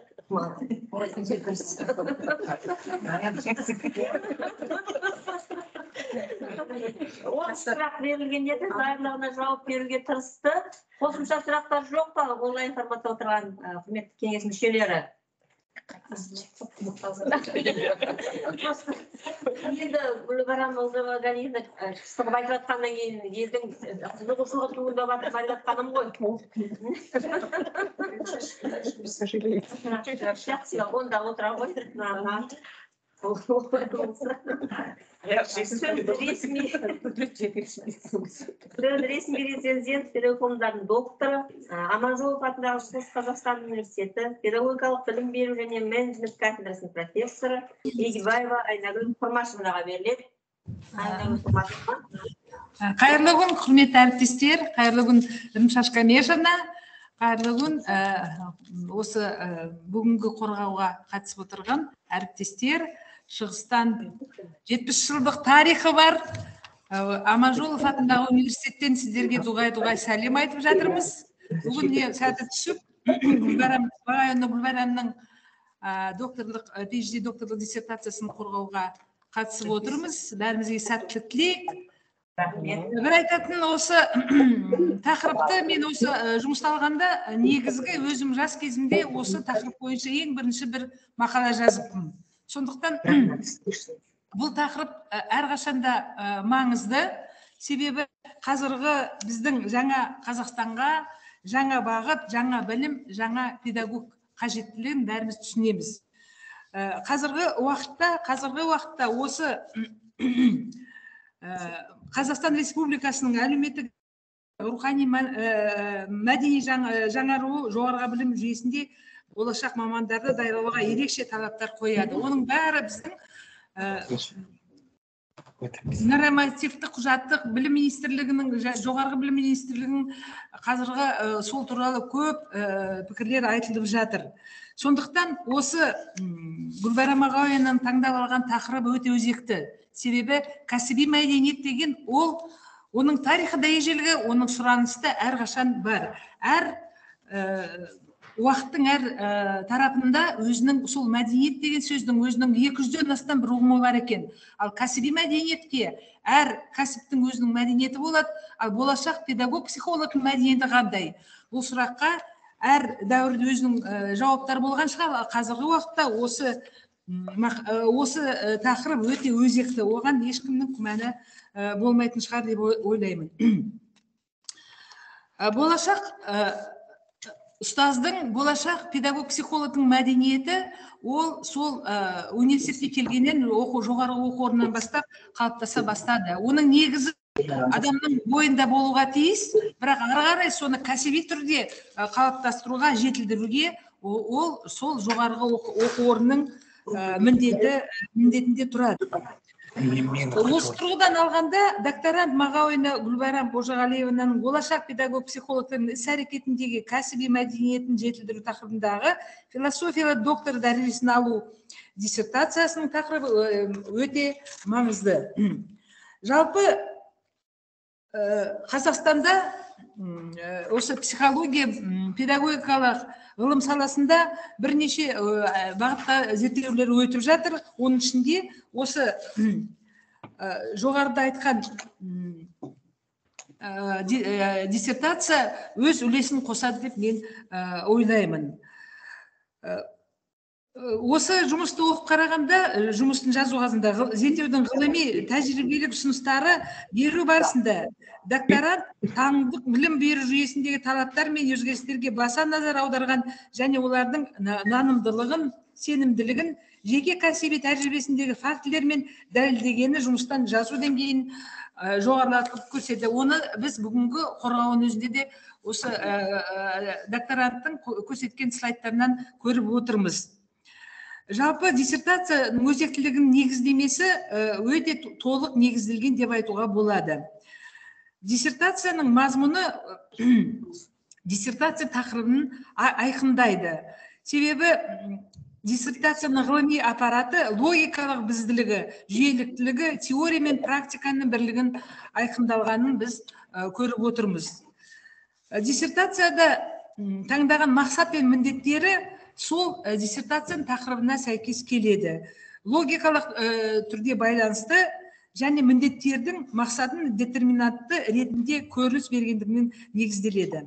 Диссертацияның барлық бөлімдері мен құрылысы логикалық байланысқа ә, толық байланысқан деп айтуға болады. Себебі зерттеу мәселесі әдіснамалық теориялық және практикалық тұрғыдан ә, талданып олардың нәтижелері де бір бірінен туындауы және бір бірі толықтырылуы арқылы толық байланыс бар екенін айқындайды. Жалпы ә, осыға дейін де бірнеше ә, осы тақырыпта диссертация осы тақырыпқа оның маңайында қорғалған ресейде ә, қазақстанда да мен өзім сол ә, мысалы сол сексенінші жылдарда осы тақырыпқа осы диссертант өзінің диссертациясын атып кеткен адамдармен ә, байланыста болғанбыз. Мысалы бәлия апай рахметовна бәлия рахметовна айтмамбетова деген марқұм кеткен ол кісі сол ә, осы тақырыптың ә, маңында бірнеше мақалалар жазған. Ал е- егер де қарасақ сонымен қатар аида шабековна бисенбаева ә, әсел молдажанова тағы да ырымшаш камешевна ә, төлеубекова осы кісілердің көп бірнеше мақалалары осы ә, педагогикалық бағыттағы ә, болашақ педагогтардың кәсіби мәдениетін қалыптастыру бойынша айтқан. Ал енді педагог психолог мәдениетін қалыптастыру жетілдіру бойынша бұл енді негізгі бір жаңа жұмыс деп ғылыми жұмыс деп айтуға болады. Сондықтан осы ғылыми ә, жұмыста ғылыми нәтижелер мен қағидаттары жаңа болып табылады деп айтуға болады. Диссертацияның қорытындылары толығымен жаңа. Себебі берілген қорытындылар мен мақсат міндеттерге орай беріліп отырғандығын сонымен қатар мемлекеттік сұранысқа сәйкестілігі мен дәлелдермен негізделген. Ә, студенттердің жалпы студенттің іс әрекетіндегі кәсіби ә, мәдениеті жетілдіру мәселесін диссертант теориялық тұрғыдан тәжірибелік жұмыс барысында да жан жақты дәлелдермен негізделген. Оны да бүгінгі өзінің қорғау барысында диссертант соны дәлелдеп көрсетеле көрсете алды. Диссертант зерттеу тақырыбына сәйкес кәсіби мәдениет мәселесін зерттеу деген ғалымдар капская руденко болашақ маманның кәсіби мәдениетін қалыптастыру мен даму бағытын крылова новиков маманның кәсіби мәдениеті бағалаудың өлшемдері мен көрсеткіш- көрсеткіштерін және кәсіби мәдениеттің даму деңгейлері арқылы негіздеген нәтижесінде зерттеудің қорытындылары болып табылатын кәсіби мәдениетті жетілдіру жүйесінде педагог психологтың іс әрекетіндегі кәсіби мәдениетін әдіснамалық құрылғылар дидактикалық ұстанымдар тетіктері мен қағидаларына негіздеп дәлелдеген. Енді ә, мына қорғауға шығарылған негізгі қағидаттарда ә, әр оның сұрақтарына жауап берілген деп айтуға болады. Жұмыс ғылымға елеулі үлес қосады. Себебі тағы да айтып кетуіміз осы кәсіби мәдениет саласында жалпы кәсіби мәдениеттің дамуында оның ары қарай дамытуында ол тек қана сол университет де білім алумен шектелмейді. Себебі болашақ мамандар ертең қоғамымыздың негізі болады. Әсіресе педагогтар педагог психологтар оның айтатыным осы соңғы жылы 20 осы бірінші жиырма екінші жылдарда мектептегі педагог психологтардың мәртебесін көтеру олардың оларға көңіл аудару деген сол ы, ы, сұрақтарға көп с- пікір болып жатыр. Тағы да айтып кететін мысалы шетелдік ғылыммен ііі салыстырсақ і, қазір біз де і, осы университетке қосылып болашақта і, келесі і, бір екі жылдан кейін ба осы келесі жылда осы педагог психологтың жалпы концепциясына жаңа бір і, жаңалық отырғы- отырмыз. Оның ішінде біздің университетімізде бар. Білім біз тек қана педагог психолог дейміз бірақ сондай психологтарды ә, себебі ол тек қана мектепте жұмыс істемейді. Білім саласында көп қазір оның жұмыс істейтін психологтар бар. Психолог білім саласының психологы деп сондай жаңа білім бағдарламасына дайындық болып жатыр. Сондықтан осы жұмыста сол білім бағдарламасын енгізу кезінде өзінің үлесін қосады деп мен ойлаймын. Ал енді ә, не айтамыз жалпы осы ә, м, жоғарыда негізгі осы жұмыс зерттеу нәтижелері бойынша 14 ғылыми мақала жарыққа шықты. Бұл өте жақсы деңгей. Олардың ішінде веб сайенс скопус ғылыми өлшеу деректер базасында кірген ә, одан кейін тағы да басқа осы талаптарға сай ә, баяндамалар бар. Ол өте жақсы. Сондықтан осы негізгі бірнеше ә, өзіні жалпы енді жұмыста мынандай бір не айтуға болады. Теориялық эксперименттік жұмыс болғандықтан бөлім мен эксперименттік бөлімдер өзара теңестіру керек сияқты менің ойымша. Диссертациялық жұмыста кейбір техникалық оқу айтылған. Енді ол ә, сондай күрделі ә, не емес замечание деп. Ә, сондықтан ол, ол ә, сондай ә, қиын емес. Жоғарыда көрсетілген кемшіліктер енді ұсыныстар зерттеу жұмысының жалпы мазмұнына нұқсан келтірмейді. Жалпы нәтижелерін теория және тәжірибе құндылығын төмендетпейді. Сонымен ә, гүлбарам мағауинаның алты д нөл бір нөл үш нөл нөл педагог және психология мамандығы бойынша философия докторы дәрежесін алу үшін ұсынылған. Болашақ педагог психологтардың іс әрекетіндегі кәсіби мәдениетін жетілдіру тақырыбында жазылған диссертациялар жұмысы қазақстан республикасы білім және ғылым саласындағы сапаны қамтамасыз ету комитетінің ұсынған талаптарына сәйкес орындалған. Сондықтан мағауина гүлбарам Ож- ожғалиевнаға педагогика және психология мамандығы бойынша философия докторы PhD дәрежесін беруге лайық деп санаймын. Ресми оппонент егибаева айнагүл курмашевна шығыс қазақстан университетінің профессоры педагогика жоғары мектебінің педагогикалық білім беру және менедж- менеджмент кафедрасының профессоры халықаралық психологиялық академияның академигі. Назарларыңызға рахмет. Курмашевна. аха рахмет сізге ә, мына аталған жұмысқа үлкен қызығушылық танытқан сияқтысыз соның негізінде оң пікір беріп отырсыз сізге үлкен алғысымызды білдіреміз ары қарай келесі кезекте бізде екінші ресми рецензент педагог ғылымдарының кандидаты философия докторы қожа ахмет ясауи атындағы халықаралық қазақ түрік университеті білім технологиялары кафедрасының меңгерушісі әуезов батырхан нағашыбековичке беріледі. Сөз саламатсыздар ма күн қайырлы болғай. Педагогика және психология мамандығы бойынша философия докторы phd дәрежесін алу үшін ұсынылған гүлбарам олжагалиевнаның болашақ педагог психологтардың іс әрекетіндегі кәсіби мәдениетін жетілдіру тақырыбында жазылған диссертациялық жұмысына өзімнің пікірімді ұсынғалы критериялардың сәйкестілігіне қарай өзімнің ұстанымдарымды оқып шығайын. Ғылым- ғылымның даму бағыттарына немесе мемлекеттік бағдарламаға сәйкестілігі. Қазіргі жаһандану дәуірінде педагогтарға әлеуметтік тапсырыс бұл оқу үдерісін жоғары сапалы де жаңа деңгейге көтеру және бәсекеге қабілетті маманды даярлау басты міндет болып табылады. Жаңа оқу үдеріс педагогтардың дайындығы олардың болашақ мамандығын игерумен ғана емес сонымен қатар олардың педагогикалық іс әрекетіндегі кәсіби мәдениетінің деңгейімен де анықталады. Бұл мәселенің айрықша маңыздылығы қазіргі уақытта кәсіби мәдениет болашақ мамандардың іс әрекетіндегі педагогикалық шеберлігі жоғары дәрежеде болуының кепілі болып табылатындығымен түсіндіріледі. Осы орайда диссертация тақырыбы мемлекеттік және ғылыми сұраныстан туындаған айқын байқауға болады. Себебі болашақ маманның іс әрекетіндегі кәсіби мәдениет өз мамандығына деген құндылық қатынасын сақтайтын сондай ақ кәсіби тәжірибені ұрпақтан ұрпаққа жас мамандарға беруге ықпал ететін маманды дамытудың белгілі бір алғы шарты болып табылады. Келесі диссертацияның өзектілігі және ғылыми мәселе ретінде қарастыруға негіз болған тұжырымдар мен бағдарламалар мемлекеттік сұраныс ретінде нормативті құжаттарға негізделген.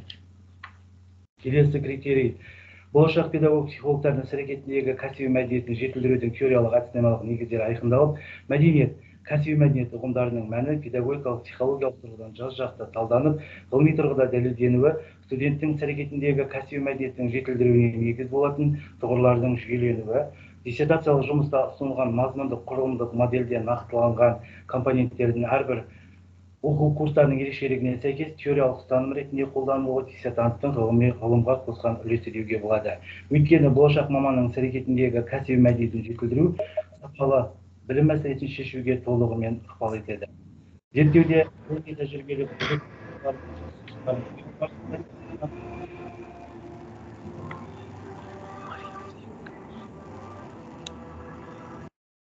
байланысты сенімділігін тәжірибеде дәлелдегені жұмыстың жазу деңгейінің жоғарылығын көрсетеді. Келесі диссертацияның өзектілігі мемлекеттік ғылым ғылыми мен тәжірибелік сұраныстарды талдау негізінде дәлелденген.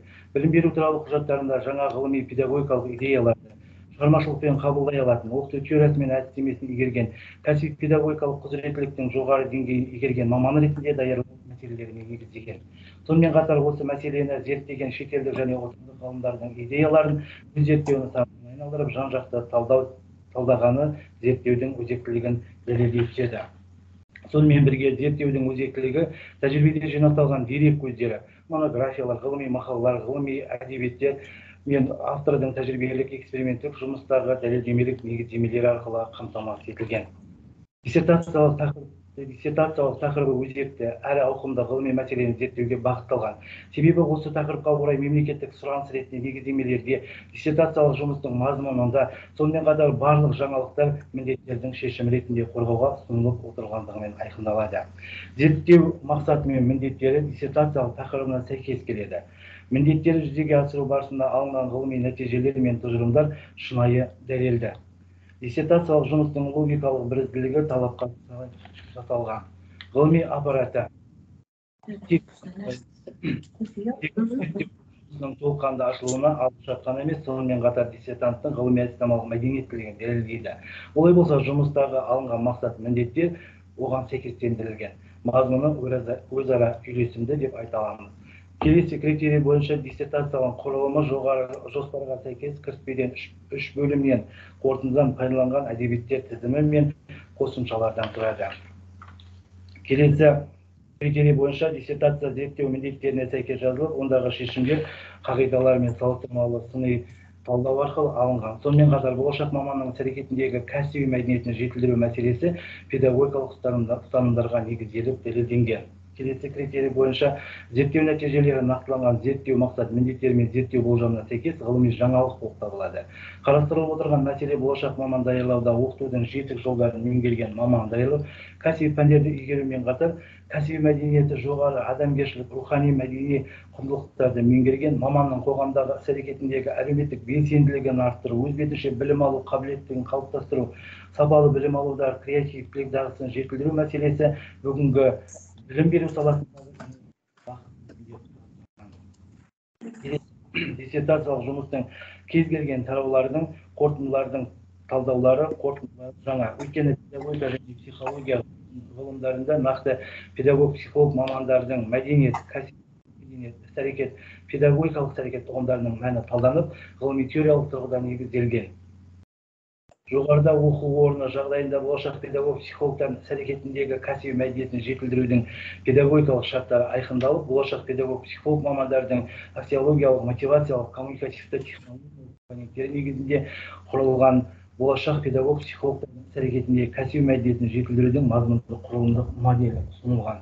Сонымен бірге кәсіби мәдениетті жетілдірудің тиімділігін арттыруға негізделген болашақ педагог психологтардың іс әрекеттерінде кәсіби мәдениетін жетілдіру эффективті курстың мазмұны мен оны жүзеге асырудың тетігін жасауы зерттеу проблемасының жаңалығын айқындай түседі. Келесі критерий бойынша техникалық технологиялық экономикалық және басқару шешімдері жаңа және толығымен негізделген туралы тұжырым жасауға ғылым салалары бойынша және барлық зерттеулер зерттеулердің барысында жаңадан қол- жаңадан қолданылып жүрген технологияларға жасалған. Талдаулар мен олардың пайдалануы дәлел болмақ. Зерттеу қорытындыларының негізде негізделгендігі деп есептелгендігі диссертанттың тәжірибені жинақтай отырып ондағы жетістіктер мен олқылықтарын нақтылану жетілдіру мен толықтыру жолдарын ұсынуы дәлел. Келесі қағидалар толығымен дәлелденген. Себебі ұсынылып отырған тұжырымдар алынған мақсат міндеттерден туындаған жұмыстың теориялық және тәжірибелік ұстанымдылығын аңғартады. Яғни өзгенің тәжірибесі емес өзіндік тәжірибенің басым болуы жұмыстың ұтымдылығын арттырып отыр деп есептейміз. Қағидалар жаңа қағидалар жаңа деп тұжырым жасауға негіз бар. Себебі төрт міндет бойынша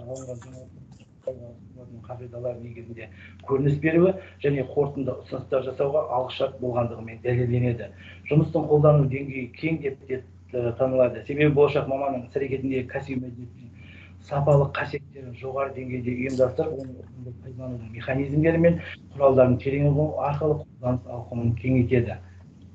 Диссерта- диссертациядағы барлық қағидалар мен тұжырымдар басылымдарда жарияланған. диссертацияда болашақ маманның іс әрекетіндегі кәсіби мәдениетін жетілдірудің әдіснамалық тұғырларына алғаш рет ә, жүйеленіп ә, талданған. Осы орайда қолданысқа енгізілген әдіснамалық тұғырлар жүйелік тұлғалық бағдар әлеуметтік іс әрекеттік гуманистік жұмыстар жұмыстың әдіснамалық мазмұнын айқындайды.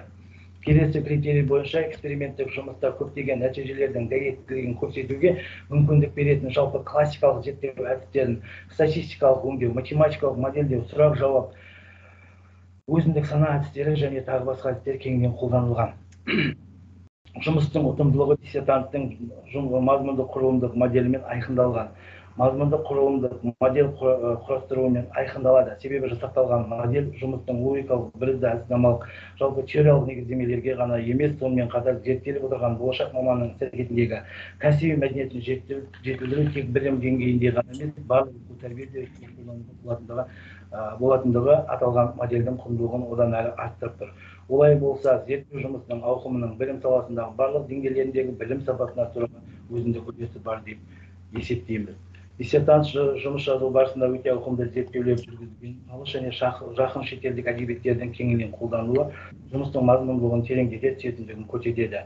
Зерттеу мәселесінің ғылыми тұрғыда ұстамдылығын ғылыми салаларында философиялық психологиялық әдебиеттердің талдануы дәлел болмақ. Осылайша ғылыми жұмыс ә, әлемдік тәжірибелер мен тұжырымдарға негізделгенін дәлелдейді. Пайдаланған дерек көздері зерттеу мақсат міндеттеріне зерттеу нысаны мен пәніне мазмұнына толықтай сәйкес.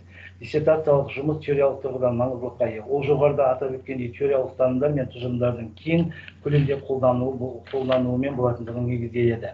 Және маманның іс әрекетіндегі кәсіби мәдениетін жетілдіру педагогтардың мансаптық өсуіне ғана емес оқыту үдеріс сапасын арттыруына септігін тигізетіндігі сөзсіз. Келесі критерий бойынша диссертацияның практикалық маңызы алынған нәтижелерді практикада қолдану мүмкіндігімен дәлелденеді. Осы орайда диссертант тарапынан зерттеу нәтижесі әзірленіп практикаға енгізілген. Болашақ педагог психологтардың іс әрекетіндегі кәсіби жетілдіру элективті курсын пайдаланудың аясы кең. Оны педагогтар өздерінің іс әрекетіндегі кәсіби мәдениеттерін дамытып оқу тәрбие ретінде қолданыла алады Э, келесі критерий бойынша тәжірибелік жұмыстағы қолданылған технологиялар әдіс тәсілдер дәлелдер негізінде жаңа. Сонымен бірге жұмыс нақты диссертанттың тәжірибесіне барлық тұжырымдар отандық білімді жетілдіру саласындағы мәселелер төңірегінде болғандықтан жетілдіру дамытуды қажет ететін мәдениет мәселесі практикалық тұрғыда шешімін тапқан. Келесі критерий бойынша докторант өзінің жариялаған еңбектерінде сілтемелер так аз жасаған секілді отандық зерттеушілердің еңбектеріне талдау жасалған бірақ сілтемелер жасалынбаған. Бұл аталған ескертулер зерттеу жұмысының ғылыми құндылығына әсерін тигізбейді.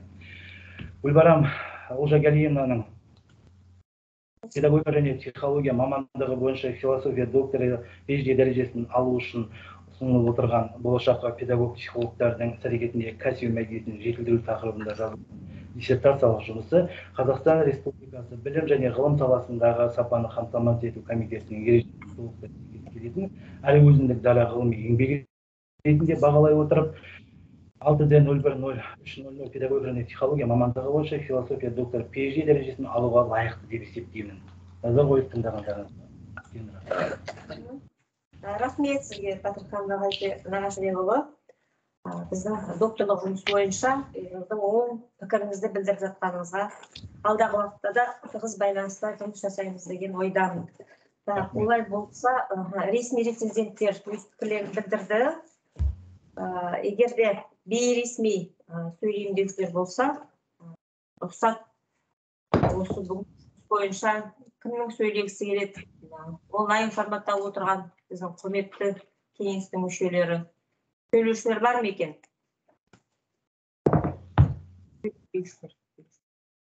Сөйлеуге болады ма екен құрметті кеңес төрайымы? Кім сөйлейді кім кім кім екен Клара. а клара жаманбаева әрине болады аха аха Э, құрметті бүгінгі диссертациялық кеңестің төрайымы кеңес мүшелері құрметті ғалымдар бүгін мен мына жерде диссертациялық жұмысты барынша танысып жан жақты талдап э, мына күн тәртібінен тыс өзімнің пікірімді білдіргім келіп отыр. Рұқсат етсеңіздер Э, енді бұл мәселе әрине диссертанттың өзі де э, теориялық талдауды э, жеткізу барысында баяндау барысында мәселенің э, тың жағында бұрын қарастырылған әдіснамасында жан жақты жеткізе білді. Енді мен э, мына жерде осы мәселені мәдениеттану жағынан педагогтың мәдениеті мәселесін зерттеуші ретінде мен өзімнің осы жұмыстың ерекшелігі жөнінде бірнеше пікірімді білдіргім келіп тұр. Э, біріншіден э, диссертант э, гүлбарам олжабайқызы э, кәсіби мәдениет мәселесін философиялық мәдениеттанымдық психологиялық педагогикалық жағынан осы ғылымдардың шекара аралық ерекшелігін аша отырып теориялық жұмысында көрсете білген. Жалпы диссертацияның мазмұнынан мен соны байқадым. Э, екіншіден э, педагогтың кәсіби мәдениетін талдау барысында жалпы кәсіби мәдениетті жеке тұлғаның э, ерекшеліктерін есепке ала отырып модельге э, салып көрсете білген яғни жеткізе білген басты идеясын. Э, үшіншіден педагогтың э, кәсіби мәдениетін талдау барысында диссертант педагогтың кәсіби стандарты нормативтік құжатының э, индикаторларының ерекшеліктерін ескере отырып оны да э, бағалау өлшемдеріне э, қоса білген екен. Және тағы бір соңғы ерекшелігі диссертант зерттеу барысында корреляциялық талдауларды өте нақты э, жаңағы сапалық жағынан да сандық жағынан да көрсеткіштерін қорытындысында және жалпы қорытындыда көрсете алған екен. Мен осы жұмысты бүгінгі қорғау барысында э, тыңдай отырып және жұмысты талдай отырып осындай жақсы жағымды ерекшеліктерді жеткізе білгендігін а, атап көрсеткім келеді. Тыңдағандарыңызға рахмет. Аха, рахмет сізге клара жаманбаевна Ә, сіз бізде ә, мынау ә, жұбанов атындағы ақтөбе өңірлік университетінің ә, психологиялық педагогикалық және арнайы білім беру кафедрасының ә, меңгерушісі екенсіз. Докторы профессор міне осындай ә, біздің әріптестеріміз пікірін білдіріп жатыр. Рахмет сізге. Тағы да пікір білдірушілер бар ма екен? Білдіремін деушілер. Тіліміз күрмеле бастады. Сәбитпен сөйлейтін. Кім тағы сөйлегісі келеді. Кеңес мүшелері. Рұқсат болса. а марал әрине Аха. Тағы да сәлеметсіздер ме, құрметті әріптестер. Бүгін енді шынымен де қорғалып жатқан тақырып өте өзекті деп айтуға болады. Гүлбарам Олжабайқызының ә, диссертациясымен таныстық. Жалпы ә, өздерің білесіздер ғой онлайн кезінде біз балалардың барлығын қазірге қарап отырсақ әрең жинап алдық.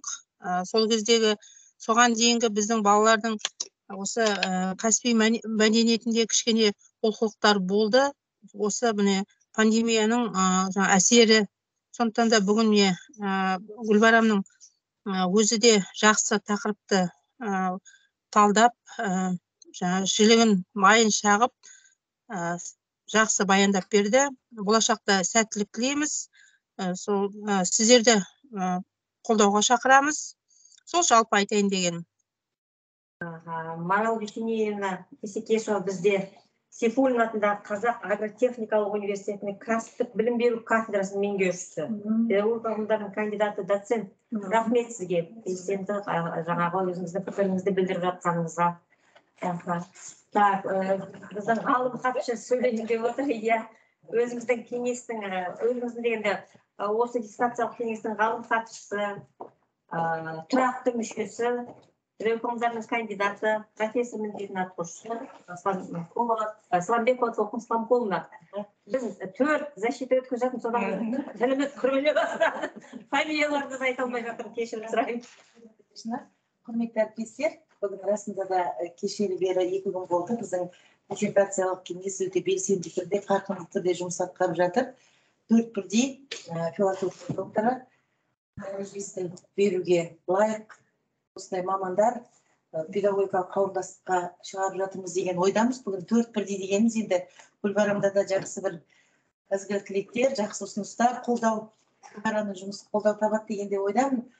Шынында да келген кезде мына жерде болашақ педагог психологтардың іс әрекетіндегі кәсіби мәдениетті жетілдіру тақырыбы әрқайсысы болашақ кімде педагог психологтар олардың іс әрекетінде кәсіби мәдениетті жетілдіру. Жалпылама осы біздің айналысып жүрген әрекетіміздің өзі педагогикалық кәсіби іс әрекет педагогикалық кәсіби іс әрекеттің ішінде мамандарды дайындау педагогтарды дайындау. Мына педагог психологта осы педагогтың педагогикалық мамандыққа жатады. Біздің оқу процесіміз ғылыми зерттеу процесіміз кәсіби дайындау процесі осы әрекетіміздің барлығы бір ақ нәрсені көздейді. Барлық әрекетіміздің бәрі неге әкеледі? Барлығының шыңы біздің әрекетіміздің еңбегіміздің нәтижесінің барлығы ол мәдениеттілік деп есептейміз. Шынында да егер де маман мәдениетті болатын болса маман ә, сауатты болатын болса маман кәсіби құзыретті болатын болса ол осы отырған сіздер мен біздердің әріптестердің еңбегінің жетістігі деп ойлаймын. Егер де маман бүгінде сапалы маман болатын болса сапалы шәкірт болады. Сапалы мына біздің ұлттың субъектілері қалыптасады деп ойлаймын. Сондықтан бүгінде гүлбарам олжагалиевнаның алып отырған тақырыбы шынында да өте өзекті. Өйткені маман дайындау арқылы біз қоғам дайындаймыз қоғамның субъектілерін дайындайды екенбіз. Осы жағынан да бұл бір жағынан шынында да өте өзекті тақырып. Алған тақырыбы да еш уақытта да бұл өзектілігін жоймайтын да тақырып. Болашақта да бір жағдайда ойлануымыз мүмкін. Жаңа сұрақтар болды. Сіздің бізге дейінгі зерттеулерден қандай сіздің зерттеуіңіздің қандай өзгешелігі бар? Қандай жаңалығы бар деп өйткені әрбір уақытта әрбір тарихи кезеңде бұл өзінің өзектілігін жойған жоқ. Жоймайды да ары қарай да өзектілігін жоятын тақырып емес деп есептеймін. Өйткені бүгінгі біздің қоғамымызды құру барысында педагогтың статусы да бар кәсіби стандарт та бар. Педагогтың мінекей мемлекет үкімет тарапынан педагогтардың статусы көтерілу қажет. Осындай ұсыныстар осындай іс шаралар мемлекеттің белгілі негізгі тапсырысына сәйкес жүргізіліп жатыр. Сондықтан бұл тағы да бірнеше мәрте жұмыстың өзектілігін білдіреді деген ойдамын. Жұмыстың жаңалығы бар. Өйткені диссертант өзінің белгілі уақыт аралығында көптеген жаңағыдай былайша айтқан кезде жаңалықтарға ие болды. Теориялық әдіснамалық негіздеу дегенде бірнеше әртүрлі аспектіде бұл осы мәселені қарастырудың өзі экспериментті жүргізудің өзі методикалар таңдаудың өзі жаңа әрбір шарттың өзін нақтылаудың өзі анықтаудың өзі бұл жалпылама келген кезде жұмыстың өте өзекті екендігін ы, көкейкесті екендігін сонымен қатар оның практикалық маңыздылығын да білдіреді сондықтан енді ә, біз өз тарапынан және әріптестер тарапынан бұл жұмысты сіздер қолдайды деген ойдамын енді бұл ә, гүлбарам ә, олжагалиевнаның жұмысының тек қана бастамасы деп түсінеміз өйткені шынында да бүгінгі бұл кәдімгі ғылымдағы әліппе сияқты шынында бір енді ғана ғылымның табалдырығын аттап жатқан адамдар сондықтан біз үміт артамыз. Осындай өзіміздің қанат қақтырып ұшып жатқан мамандарымызға мына ғылым ортасына келіп жатқан жас мамандарға әлде де жұмыстар өте көп атқаратын сондықтан мінекей өздерінің жұмыстары арқылы бір саты жоғары көтеріліп ары қарай да бірнеше саты өздерінің мына шығармашылық табысына ие болады. Ары қарай үлкен жетістіктерге жетеді алатын асулары көп болады. Ғылым ретінде өздерін біздің елімізге еңбегін сіңіреді деген ойдамын. Табыс тілеймін. Рахмет осындай өзекті тақырыпты ары қарай да жалғасын тауып қорғалады деген ойдамын рахмет мен сіздерге атап өткім келіп отыр иә шынымен де бүгінгі мына дистанциялық жұмыс бойынша біздің қазақстанның белді ғалымдарының қатысып отырғаны қарап отырсаңыздар шынымен дәстүрлі форматта кезінде қорғаған ғылым докторлары мен і кандидаттары алты біздің мынау уақытша мүшелеріміз иә жаңа бірнешеуін айтып кеттім сонымен қатар айта, айтайын деген мына майгелдиева шарбан мұсабековна педагог ғылымдарының докторы профессор қорқыт ата ә, атындағы қызылорда университеті. Орынбасары елнұр адаловна педагог ғылымдарының докторы ә, есіл университетінің профессоры алғожаева нұрсұлу сейіткериевна педагог ғылымдарының кандидаты педагогика және білім беру менеджмент кафедрасы меңгерушісі біздің ә, белсенді иә араласып жүрген әріптес- әріптестеріміздің бірі әл фараби атындағы қазақ ұлттық университетінен. Жаңа марал айттым және бізде жекебаев ботагөз әбдірахмановна бөкетов атындағы қарағанды университетінен педагог ғылымдарының кандидаты педагогика және бастауыш оқыту әдістемесі кафедрасының профессоры белді белді ғалымдар қатысып отыр. Яғни тақырып ыыы бұрын басталып алған иә әлі де жетілдіруді қажет ететін тақырыптардың бірі болғандықтан осындай ғалымдарды уақытша мүше ретінде біз бекіткен болатынбыз. Одан біз ұтпаса ұтылған жоқпыз деп ойлаймын. Енді үш адам жаңағы қолдап сөйлеп жатыр. Жеткіліксіз шығар деп ойлаймын. ары қарай жұмысымызды жалғастырамыз. Ы, құрметті кеңестің мүшелері. Ыыы дистанциялық кеңестің бекітілген құрамы он екі адам. Ой он екі адам иә? Қазір тоқтай тұрыңыздар он екі адам бірақ мынау жаңа талаптарға байланысты ы, екі рецензентті дауыс беруге қатысады. Дей тұрғанмен бүгін бізде кеңестің тұрақты мүшесі м камешевна докторанттың жетекшісі болған кеңесшісі болғандықтан дауыс беруге қатыса алмайды. Демек он үш адам дауыс беруге қатысады. Диссертациялық кеңес мүшелері сіздерден смартину кз сайтына кіріп дауыс берулеріңіз сұралады. Докторант пен әзірге шыға тұруларын сұраймыз. Мы их ғой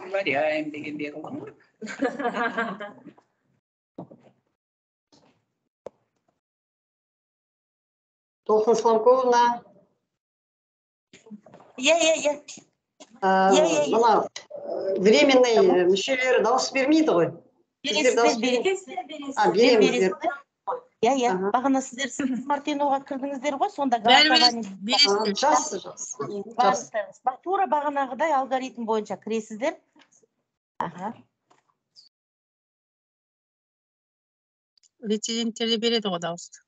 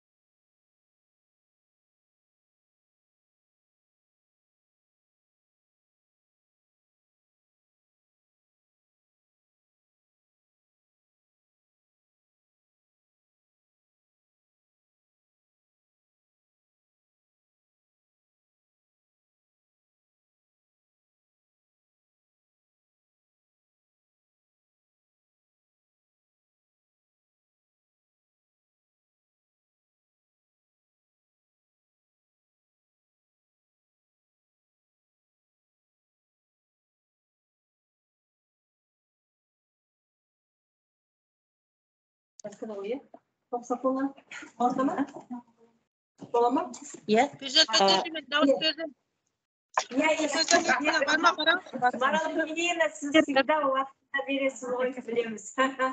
Құрметті кеңес Жақсы. мүшелері, кеңестің жұмысын жалғастырамыз. Жасырын дауыс беру қорытындысын жариялау үшін сөз кезегін диссертациялық кеңестің ғалым хатшысы толқын салықұлынаға береміз. аха құрметті әріптестер сіздердің дауыстарыңыз барлығы қабылданды жалпы дауыс беруге қатысқан э, екі рецензент он бір диссертациялық кеңес мүшелері қатысқан. Адамдар саны он үш он үші де мына жаңағыдай философия докторы дәрежесін беру туралы ұсыныс берді. Жүз процент дауыс алып отыр Қазақстан Республикасы ғылым және жоғары білім министрлігі ғылым және жоғары білім саласындағы сапаны қамтамасыз ету комитетінің дәрежелер беру ережесіне сәйкес і жасырын дауыс беру бойынша хаттаманы бекітуіміз қажет. Кім ұсынысты қолдайды? Дауыс берулеріңізді сұраймын. Рахмет. Гүлбарам оразалиевна сізді құттықтаймыз. Әзірге отыратыныңыз енді кезекте диссертациялық кеңестің қорытындысының жобасын талқылауға көшеміз. Жоба сіздердің назарларыңызда экранда да бар қолдарыңызда да бар. Қандай ескертулеріңіз бар? Осы кеңестің қорытындысы бойынша негізге алынсын иә. өйткені ол жерде тұр иә? Тақырыптың өзектілігі ғылыми нәтижелі тәсілді қолдану теориялық маңызы тағы тағы. Негізге алынсын деген ұсыныс бар. Қалай қарайсыздар? Келісесіздер ме? Онлайн форматтағы тағы көрсетесіздер ме? Иә? Олай болса диссертацияның жіктелу белгілеріне тоқталып кетейік. Сегізде бір диссертация нәтижелерінің сипаты бойынша қай пунктке ә, тоқтаймыз? Сегіз екі бір ой и- и- бір екі. Сегіз бір екі. Маңызды әлеуметтік мәдени экономикалық немесе саяси маңызы бар ғылыми мәселені шешу деген иә? Келісесіздер ғой. Сегізде екі диссертация нәтижелерінің жаңашылдық деңгейі? Сегіз екі бір. Сегіз екі бір.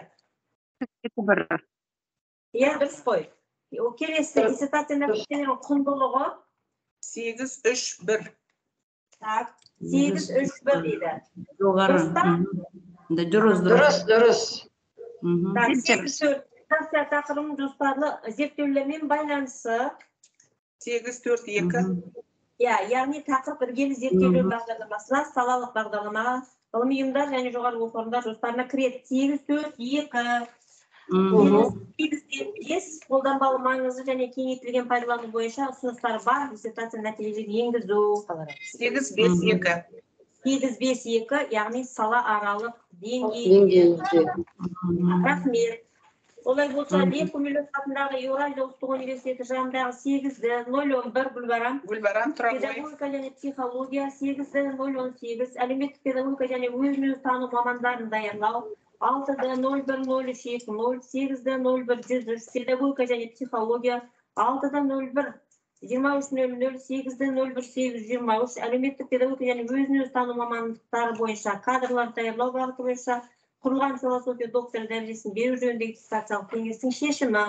Болашақ педагог психологтардың іс әрекетіндегі кәсіби мәдениетін жетілдіру тақырыбындағы диссертация қазақстан республикасы ғылым және жоғары білім министрлігі ғылым және жоғары білім саласындағы сапаны қамтамасыз ету комитетінің дәрежелер беру ережелерінің талаптарына сәйкес келетіндіктен оның авторы мұғауина гүлбарам молжағалиевнаға алты нөл бір нөл үш екі нөл педагогика және психология мамандығы бойынша философия докторы дәрежесі берілсін. Біз бүгінгі қорғаған диссертантымызды гүлбарам молжағалиевнаны және оның кеңесшісі профессор рабшаш камешевнаны құттықтаймыз.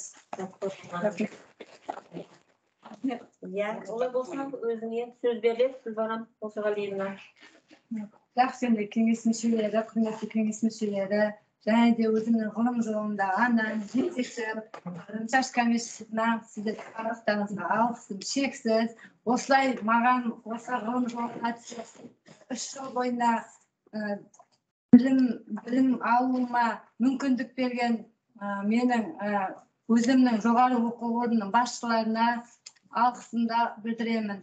Және де өзімді өзімнің осылай ә, жас ғалымды ғалым ретінде осы ғылым жолына түсірген өзімнің жетекшіме арнайы ә, үлкен алғысымды білдіре отырып өзі өзімнің және өзімнің олқылық іс әрекеттерім үшін сізді тыңдамаған диссертацияда өз сіз айтып мен жазбай қалған жерлерім болса олқылық іс әрекеттерім үшін барлығы үшін кешірім сұраймын және сізді жақсы көремін. Оппоненттер қайда қалды? Оппоненттерге. және де осы диссертациялық ә, зерттеу тақыры жұмысымызға пікір берген екі пікір берушіге үлкен үлкен рахмет. Рахмет. Құрметті диссертациялық кеңестің тұрақты мүшелері уақытша мүшелері барлықтарыңызға бүгінгі қорғауда қатысып белсенділік танытқандарыңыз үшін алғысымызды білдіреміз келесі кездескенше сау болыңыздар Сау болыңыздар. құттықтаймыз Сау болыңыздар, құтты болсын. сау болыңыздар тамара калтаевна сау болыңыз тамара калтаевна Мы вам приветствую вас. Да, я вас тоже. Идем, закрывайте. До свидания. До свидания. Сау болыңыздар. Сәтті.